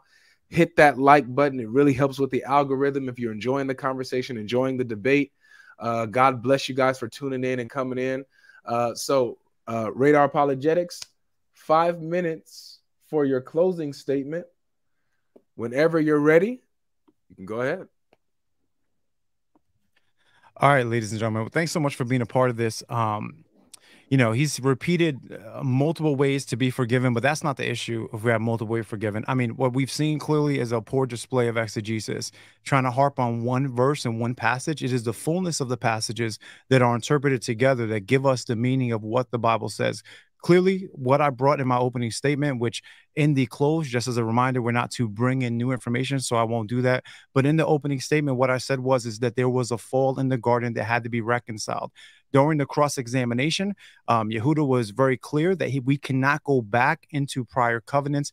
It is undeniable, according to the evidence of the Hebrew Bible, that we are indeed in the new covenant in the time period of the governing new covenant. We are not under the old covenants that have predated, but the new covenant does build on top of it. Just like in the cross examine section, Yehuda was very clear. He added that back, back. We cannot go back. We can go back. Clearly, it would be ridiculous to think that Abraham could interact with God the way Noah did. Clearly it would be ridiculous to think that Moses could interact with God the way that Abraham did. So clearly it's ridiculous to think that you're going to operate in the Mosaic covenant, the Mosaic law, when we are in the new covenant reality. This is why my friend um, Yehuda has missed the whole entire point of this debate. The reason I will echo again why Yehuda cannot see the plain meaning of the passages and gets very frustrated when we're talking about these things is because he has put on the lens of rabbinic Judaism, which I believe completely paralyzes a person from being able to see the plainness of the meaning of the word of God. As I demonstrated by Rambam's usage of two different passages, he perverts the plain meaning of the passage and thereby cripples the Jewish people from being able to see plainly that Yeshua is the Messiah. Does Rambam do this intentionally? No, he does not. Uh, my friend Yehuda, my opponent, um, who I do respect and thank for doing this, but he is on the wrong side of the fence. He has been so contaminated by the understanding of traditional Judaism that he is even believing that immediately when the Messiah comes, that there should be peace, that everyone should know God. He can't see the plainness of the passages that correlate with Zechariah 9 and Daniel 7. I get the frustration. It's very hard to break away from the way that we were brought up and to see what the passages plainly say. But my prayer is that by the Spirit, of the living God that Yehuda will come to repentance and be able to see plainly what the passage says and to come to the Messiah that our fathers did indeed look forward to. I will echo Leviticus 26. He did use this passage as the model of return. He himself said, This is the model of return. But go back, watch the debate, listen to his opening statement, listen to his rebuttal. He did not quote the end. Then I will remember my covenant with Jacob, my covenant with Isaac, my covenant with Abraham as well. And I'll remember the land. Why did God have to remember that? Because they had to operate in the blood of the covenant and the blood that inaugurated that covenant. We indeed are in the timeline of the Messiah. As I shared, as I echo, and I will shout from the rooftops, Daniel 9 is the only passage where it says explicitly, the Messiah will do this. He will expiate for sin. He will be cut off. What is the need for Daniel to receive such an immense revelation? If we're just talking about a random generic gas station Messiah that everybody can have in every generation. And this is the one, this is the Messiah. He died for me, He died for you. Profess Him, believe in Him, repent, embrace the gospel, be born again, receive the Holy Spirit, and be whole. This is the purpose. This is the thing. I'm not here to be right. I'm not here to win debates. I'm here to share the gospel of the King of Kings, Lord of Lords, the triune God. And what we see is in the scripture, my hope is that every person under the sound of my voice will remove any blinders from approaching the word of God and they will see it plainly for what it is. Let's look at this passage. Let's look at the text and let's see what it plainly says. Don't listen to rabbis. Don't listen to traditions. Don't listen to anything that's going to contaminate the plainness of the word of God as my opponent has done. He cannot with his reiteration and repeating of verses with all due respect see plainly what they mean. There is a there is a conflicting Zechariah 9 coming on a donkey and Daniel 7 coming with the clouds. The rabbis teach that this is one or the other because they can't make sense of it because they are rejecting Yeshua the Messiah. This is a falsehood. This is this is not true. It is indeed two comings of the Messiah. The same way Moses came and was rejected, the same way Joseph was sold by his brothers, rejected, then he revealed himself. It's the model of the Hebrew Bible, brothers and sisters. Don't make Yehuda's mistake. Don't hang your hat on one verse. Let the verses interact with one another. And this is how you do proper exegesis. May the name of Yeshua, the Messiah, may the triune God be blessed and praised for this stream. And with that, that's my time. Amen. Amen. All right. Thank you so much. Yehuda, whenever you're ready, brother. Can you hear me okay? Yes, sir. First of all, I'd like to thank Radar and God Logic again for hosting this very important debate topic. I want to encourage Jews and Christians to have these sorts of focused dialogues surrounding this topic specifically. I truly believe that any New Testament believers who listen to this debate sincerely and review it and study the sources will have to conclude that the death of Jesus or Yeshua on the cross is not necessary for the forgiveness atonement, and salvation of mankind. I want to highlight my opponent's inconsistency in identifying prophecies that are exclusive to the Messiah, son of David, and no one else. This is a common mistake that New Testament believers make regarding vague prophecies like the suffering servant of Isaiah 53 and the vague reference to Mashiach mentioned in Daniel 9:26. None of these prophecies give us any indication that they are exclusive to the Messiah, son of David, or that the Messiah, son of David, must come before the destruction of the second temple.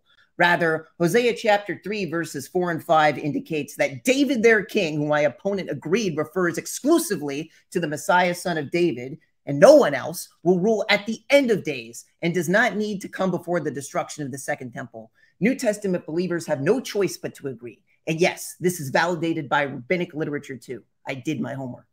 I'd also like to encourage my fellow rabbinic Jews and Noachides to study this debate to learn how to demonstrate how to dismantle the flawed theology of the New Testament by literally going for the jugular and demonstrating to the New Testament believer that Jesus' bloodshed and death on the cross is not necessary for our forgiveness of our sins today.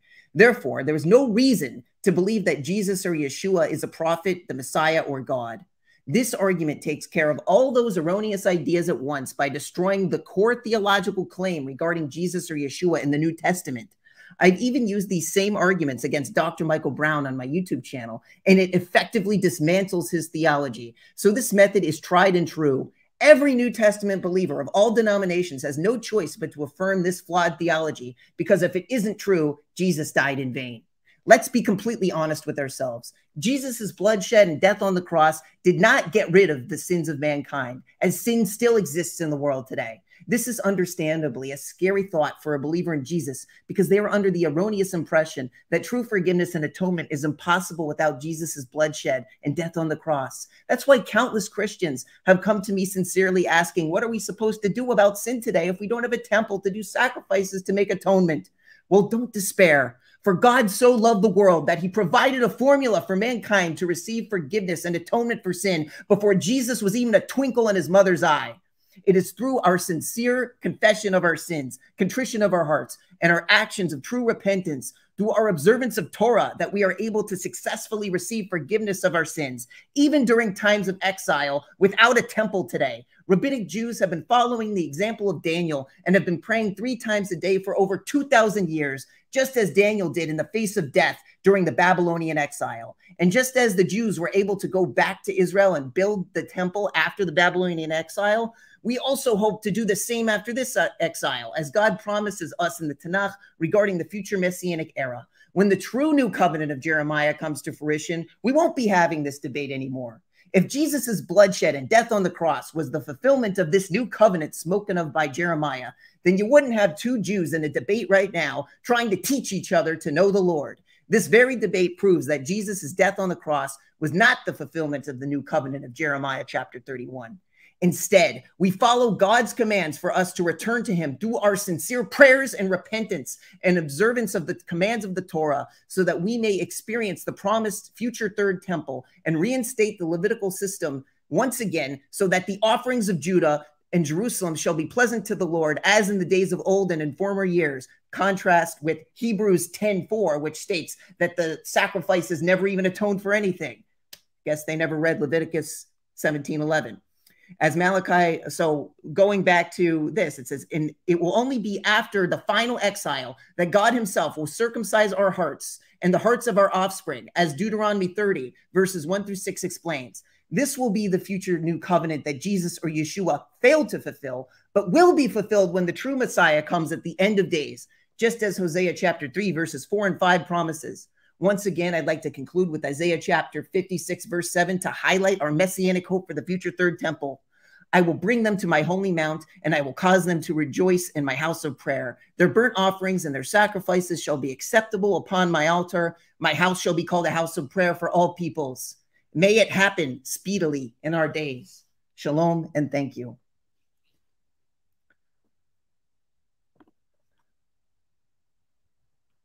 Uh, I don't know. You're muted, bro.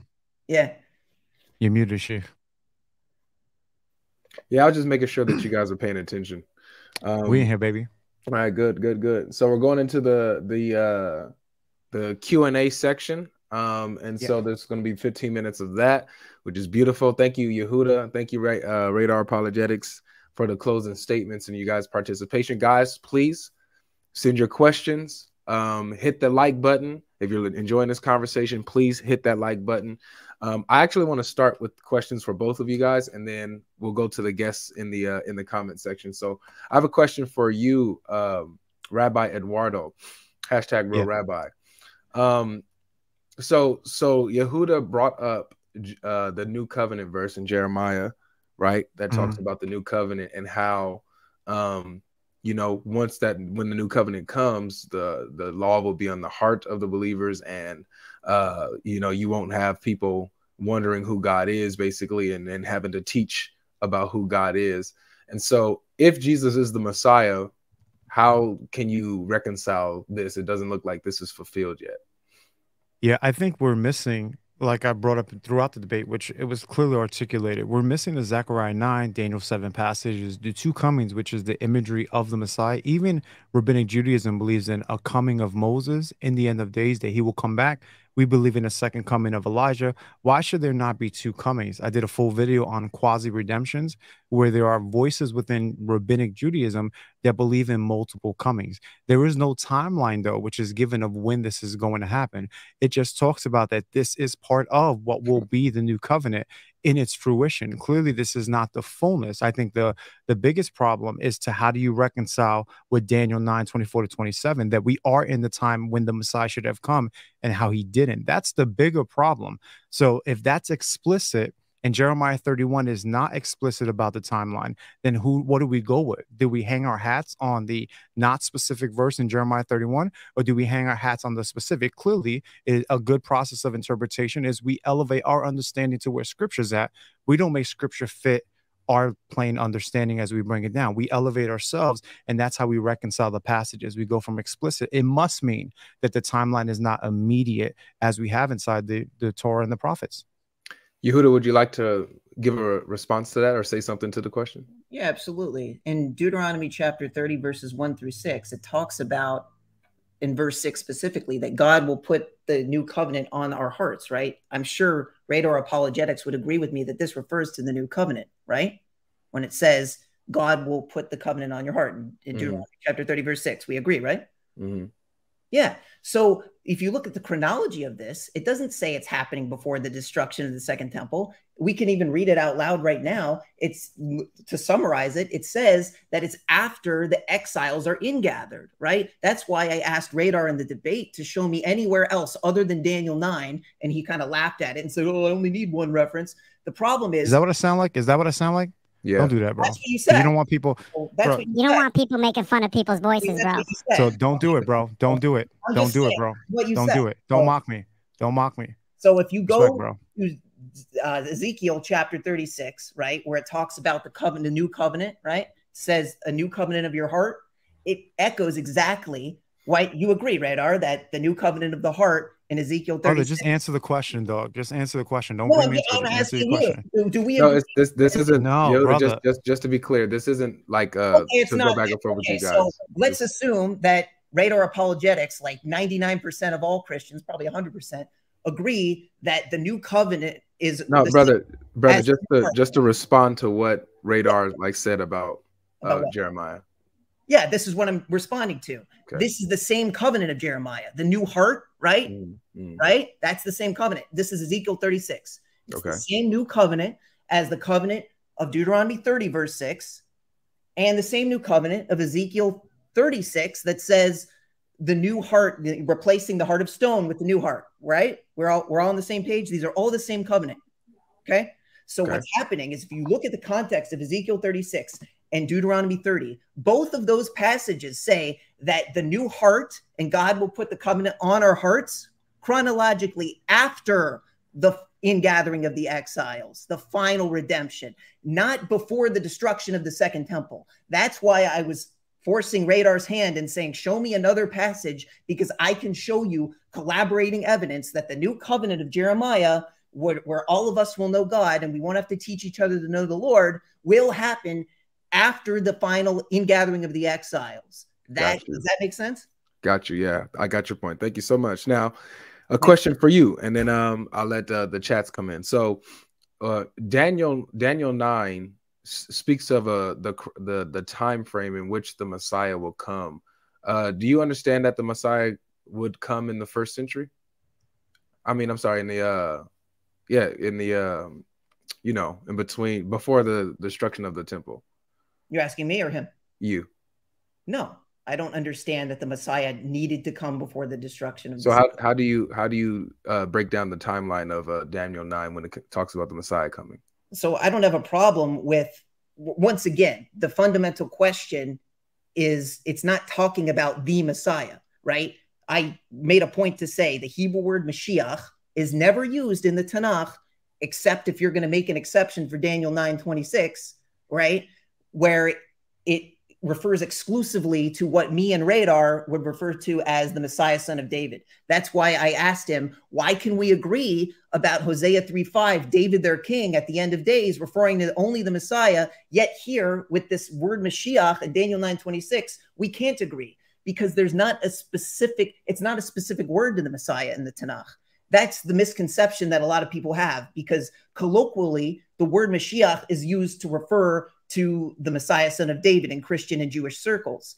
But in the Tanakh, ironically, and a lot of people don't know this, there is not one instance aside from my, you know, the Christian interpretation of Daniel 9:26, where the Hebrew word Mashiach would refer to the Messiah, son of David, and only the Messiah, son of David. And I would challenge Jews and Christians to find me an exception to this, including Radar. Right. And he couldn't. Thank you.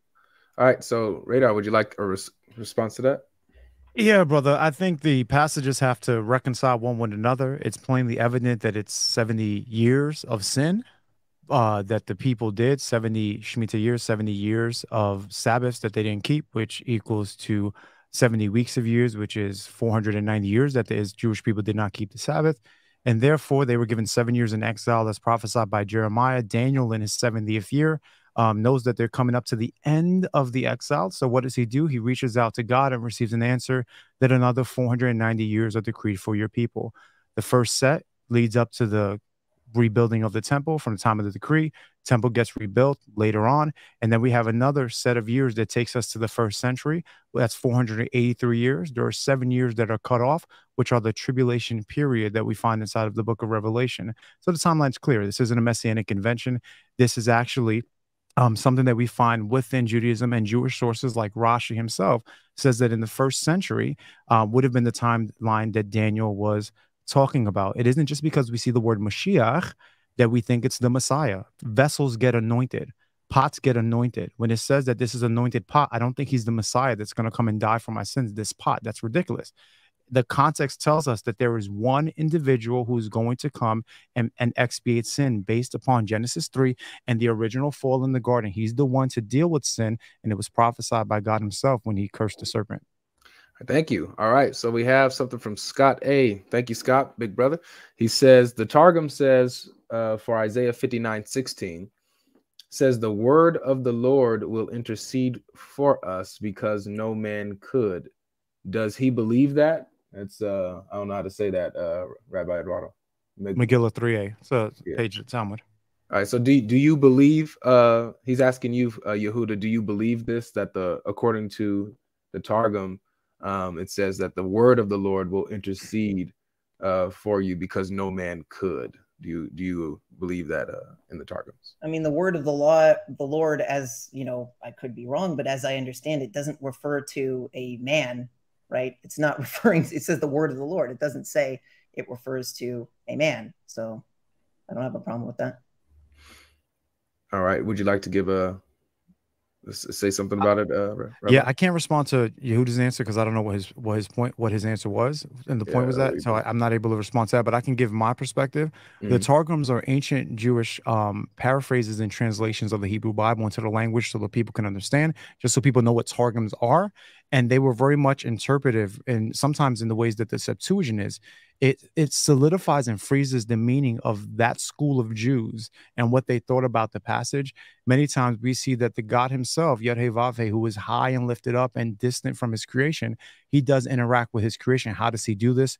is through his word. So we understand this to be um, his memra, which is also the logos theology of John chapter one. It's also called the Devar in Hebrew. So what the point of this whole passage and the point of the Targums and why they're so important is that the Memra, the word of God, is God Himself, yet distinct from God, showing a complex unity of God. Indeed, it was the Memra of God, the word of God that that Abraham saw walking in the garden. This is plain meaning the kol Adonai. They heard the voice of God. So he is God. He's Yod Hevafe, but distinct from him. The members, the angel of the Lord. That is what the passage talks about. And this is where the Targums present it. Um, so yeah, so not an issue, not a problem for me, man. I say amen. Big shout out to the Targums. Amen. Amen. All right. Question for Yehuda. Uh, we got five minutes left, guys. So if we can keep the answers like within try to 45 seconds to a minute, we can, guys. Okay. I want to get to other questions. Uh, for Yehuda, when the third temple is built and they do not and they do the first sacrifice, what will happen when the presence of Hashem does not come? Well, we're the uh, idea is that it says in the Tanakh that God will be validating the third temple. I read it over and over again in Isaiah chapter 56, verse 7, where it says that all the nations will come. So that's just not going to be a thing. It says that this is going to happen.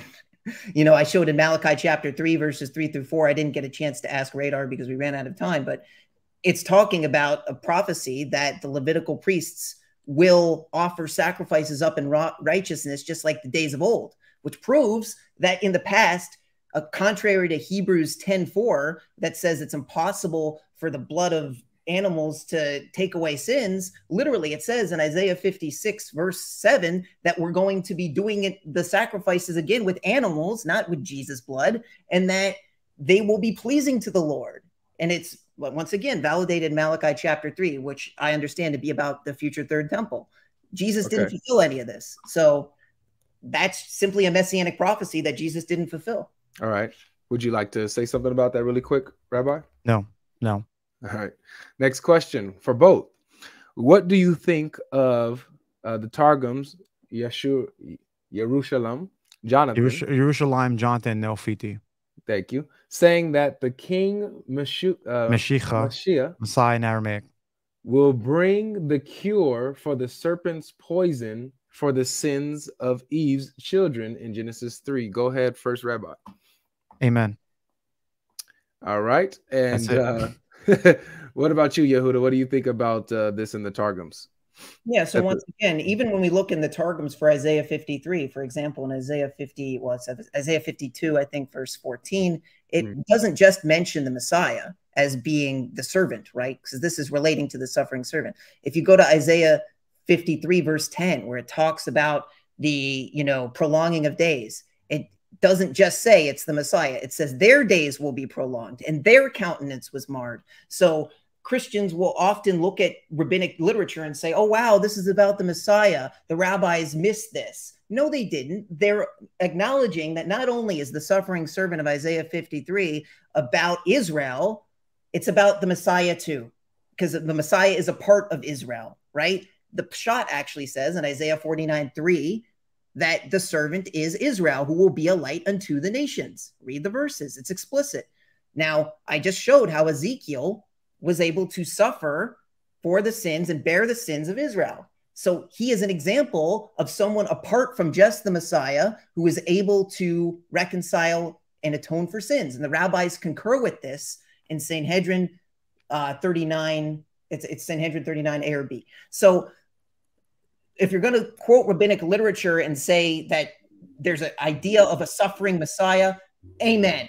But if you're going to ignore the rabbinic literature that says that Israel is also a part of this suffering along with the Messiah, then you are misrepresenting rabbinic literature and you just aren't being honest. All right, thank you. Uh, Martin has a question. He says, How do billions of Gentiles approach the God of Israel? Is it through the seven laws of Noah? If so, how will billions of people even hear or know of these laws? I guess that's the either. Yeah. Uh, do, do if you could be quick, because we only have a minute. So just go to Zechariah chapter 8.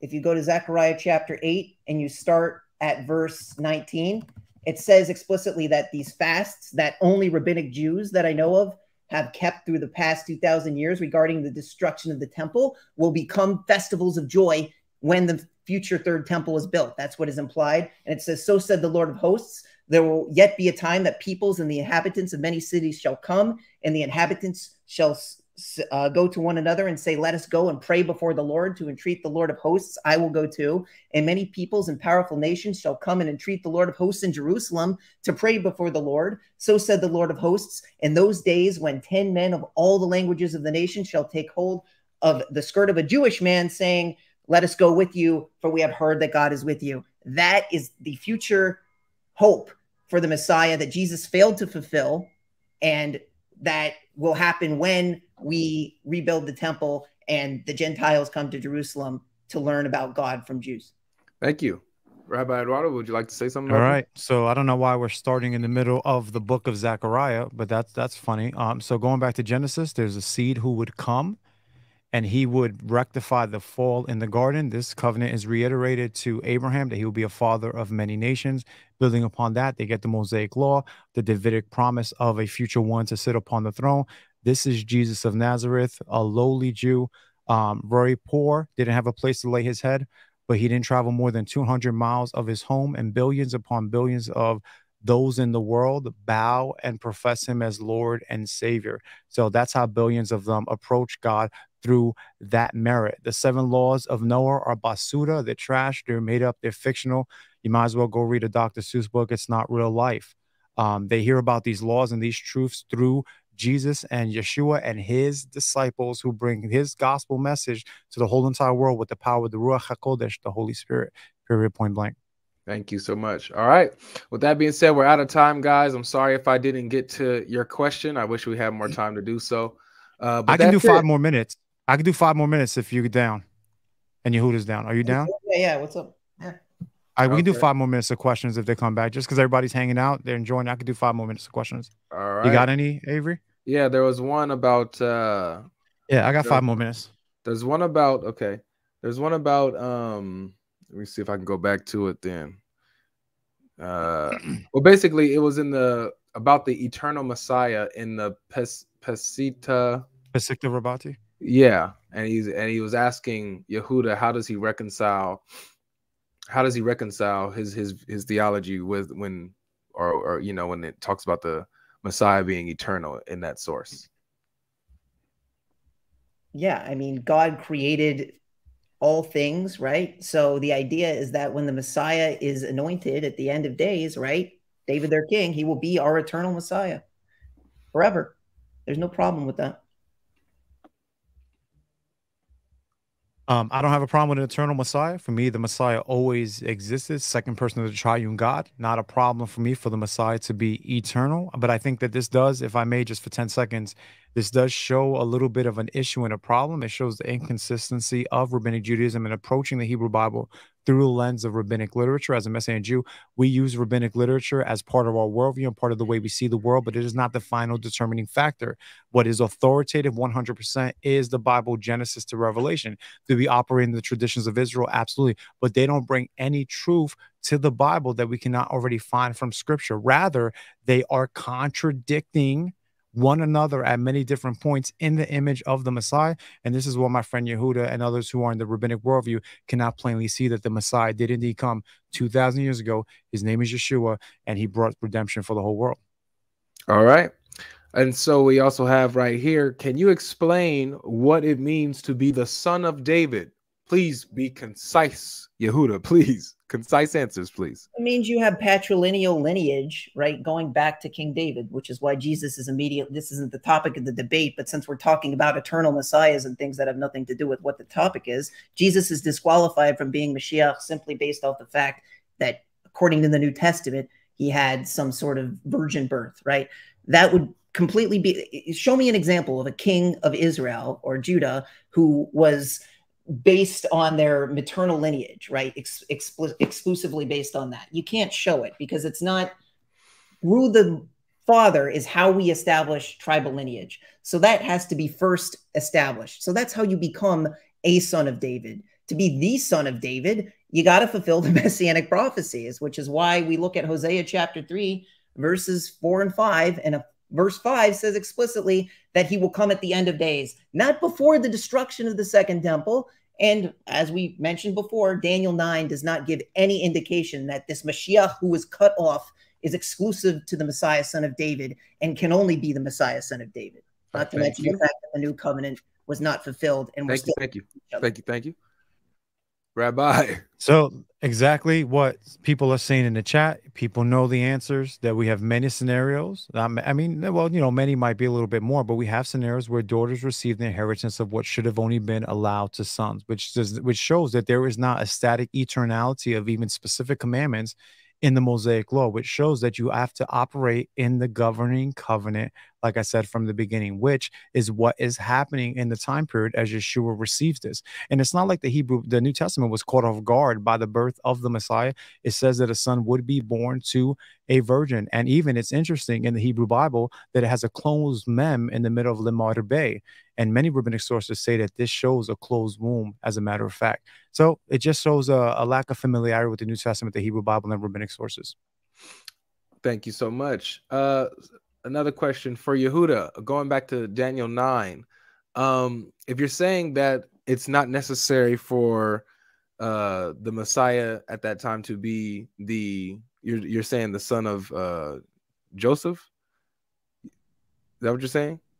Or no, son of David? I'm saying that the word Mashiach, I, I have said this like you said it. You're saying it's not exclusive the to the son of David, right? Never. You can. I would challenge anyone to show me in the Tanakh, Jew or Christian, to show me where the Hebrew word Mashiach is used to exclusively, exclusively operative word here, referred to the Messiah, son of David, and no one else. Got you, got you. So, what the the, the question here is, um, so you you do acknowledge that this does give the time frame in the first century for a Messiah to appear, correct?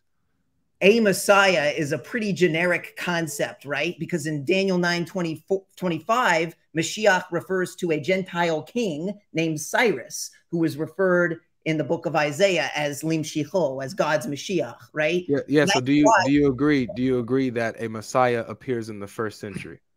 Is what when you say Mashiach, remember that is not referring to a exclusively Davidic king. It can refer to a Gentile king. I understand. I understand you. Uh, the the question is, look, I, I, understand what you're saying. Yes. It can, it's a general term. I'm asking you, do you affirm that a Messiah does appear in the 1st century according to Daniel? Messiah. I'm saying the word Mashiach, that is the Hebrew word being used here, right? Mm-hmm. I don't want people to get confused because you're using a Messiah. I'm saying a anointed something someone. It is an extremely general word and christians are abusing the context and literally the kjv says the messiah.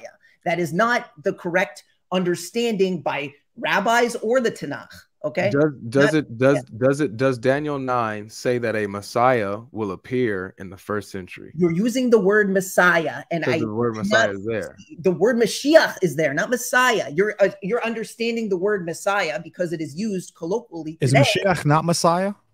When we say the Messiah, right? Usually in the colloquial context that we understand it, it means the Messiah son of David. What I am saying is that That's who? Word, what? Says well, I'm saying I'm saying like you're you're you're saying that greater consciousness of society when you hear the word Messiah, you usually assume that it means the Messiah, son of David. So I'm is there a poll that you did to get this information? Sorry? I'm just wondering where you're deriving. Reality. Is, there a poll you did to say generally people do reality. that? And when I hear Christians and Jews use the word, so, oh, Messiah, oh, your experience, your experience, mean that it's referring to the Messiah, son of David. If you live on, so this is your experience, and that's not your experience, then good for you. But I'm so this is your experience. The reality of the audience that the word. So tell me what the Bible says, not your experience. The Bible says the word Mashiach, and I'm telling you, according which means, to the Bible, which means no anointed something. It doesn't have to mean a human. It means Messiah. It means Messiah, my friend. Mashiach means, means Messiah. Mashiach can refer to an anointed high priest. It can refer to anointed vessels in the temple. It can refer to all of these things. So the word is Messiah, though, right? And you try to manipulate the language to make you, Yehuda, the, the, the, word is Messiah, right? Yehuda? Right? Sorry? Yehuda, the word is Messiah, right? It, the word is, is Messiah, right? in Hebrew. That okay. is the word. Got you, no problem. So does it say that a Mashiach will appear in the first century? Yes. Okay. And it says that this Mashiach will be cut off, right? Not for his own sins it says will be no more. It says Mashiach Yikrat, right? We, we know the verse, right? Yes, sir. Yes, sir. So is that talking about is that what what what Mashiach appeared in the first century and took the sins of, of the people? Right. So once off. again, because it's such a generic word, right? It could refer to a high priest at the time. It could refer to Yeah, I'm asking who. I'm asking who was it? Well, I'm saying it doesn't have to even refer to a who. It's a generic word, so it gives us room for interpretation, right? So if I asked you who is the oppressive individual who's going to oppress the the holy ones of the Most High in Daniel seven twenty five, can you tell me specifically who that is and give me the exact? So, so Sheikh, Sheikh, his answer is he doesn't know. Right, because nobody can. Because you read the Torah and the Bible through a lens of the rabbis. This is why you don't know. The word Mashiach. This is why you don't know. I know who it is. Used in the Tanakh this would be the only instance in the entirety of the Tanakh, and this is he doesn't know. Show me anywhere else where the word Mashiach is used to refer to the Messiah, son of David, and no one else. Wow. It's the only pass. The only passage. All right, let me respond now. Let me respond. The only passage where we're told that Mashiach will do anything. Remember the difference between a verb and a noun. Mashach, Mashiach, Hifil form. It has a yud inside the middle of it, showing an individual, a thing, an object. Okay, this is Hebrew. So when it says the priest Messiah uses Mashiach, you can. It'll be okay to translate it Messiah priest. So we're seeing these anointed individuals pointing forward to one thing, right, which is the Messiah. Even our own sages have told us all the prophets prophesied only for the days of Mashiach. This is what we're looking forward to. So it's always looking forward to him. The context of Daniel 9 24 to 27 is that there is one individual who will expiate sin. And it is so sad that you are about to shoot, not that you're about to shoot, but you're about to shoot. You go to synagogue, you do Havdalah, you celebrate Shabbat, and you can't even tell me who the individual is that God took time for to solidify for Daniel, give him this revelation. It's a monumental thing, it's a marker in time for the Jewish people based upon her sins and rebellion. And you, as a rabbinic mono Orthodox Jew, don't know who it is. It is a because sad thing. I'm crying on the inside fully. Radar. It's Mashiach. It's a rock. Is it a bone?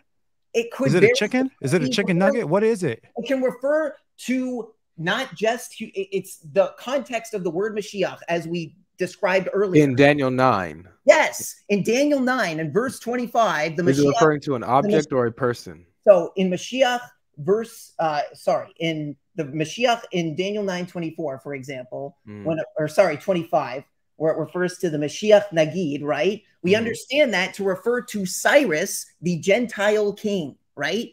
So this is how we understand that the word is not exclusive to even in this case. I, I, I understand. Look, Yehuda, I understand what you're saying. My my yes. question is, according to the context of the Mashiach who's bearing the sins of the people and who's the prince. According to Daniel 9, the Mashiach that appears in the first century is a person, correct? Where did no, where does it say? Not necessarily. It okay, says, so where do you where do you get any idea that the Mashiach that appears in Daniel 9 is not a person? So there's two Mashiachs, right? I don't have a problem with it being a person. It could very well be the high priest. It could very well be the, you know, ruling dignitary at the time, right? But when it comes to what is happening in that verse, the word Mashiach, right, is so, for example, when you look at the word Mashiach in Daniel 9:25, it says, You shall know and understand from the time and the emergence, the word to restore Jerusalem until the anointed king, right? So we understand this as King Cyrus because that was when the word was to restore Jerusalem. That's very specific. But when you look at Daniel 9:26, right, it simply says that a Mashiach will be cut off and will be no more. That's all it says. For it's why? For, for what reason? For what reason? It's simply explaining that this is going to represent the destruction of the temple and how there's going to be a process of time where we're going to go. It, explains we go into exile and does then it, does it mention that not for his own sins? Or am I tripping? says he will be no more, right? It says he will be no more. So does it say why? Does it say why? It simply says that he will be cut off and he will be no more. And the people of the coming monarch will destroy the city. It says it's going to represent when the people are going to come and destroy the sanctuary. It says it explicitly. Rabbi Eduardo, does it mention why he's going to be cut off? So it's it's uh, so I mean plainly it says 70 weeks of decree for your people and what's going to happen to finish transgression, make an end of sin, to make atonement for iniquity, to bring an everlasting righteousness, seal of vision, prophecy, and to anoint the most holy place. Mm. So you are to know and discern that from the issuing of a decree to restore and rebuild Jerusalem until Messiah the Prince, there will be seven weeks and 62 weeks. It will be built again. Then after 62 weeks, the Messiah will be cut off and have nothing. And the people of the prince, so we're not talking about rocks. Rocks don't become princes Chicken nuggets don't become princes. Tables don't become princes. Not, inanimate objects don't become princes. It's a person who is to come will destroy the city. Okay, we're not talking about rain. It's not hail. It's not a storm. There's a person, an individual, a specific individual who will come. He will destroy the city, and its end will come with the flood. Even to the end, there'll be war, desolation determined. Right, and the, so we have a prince here, an individual prince who's going to come. We have the individual Messiah talking about these individuals interacting with each other. But there's the Messiah, the prince in 25. It is one individual, the Nagid. There's not multiple not multiple of them. There is one.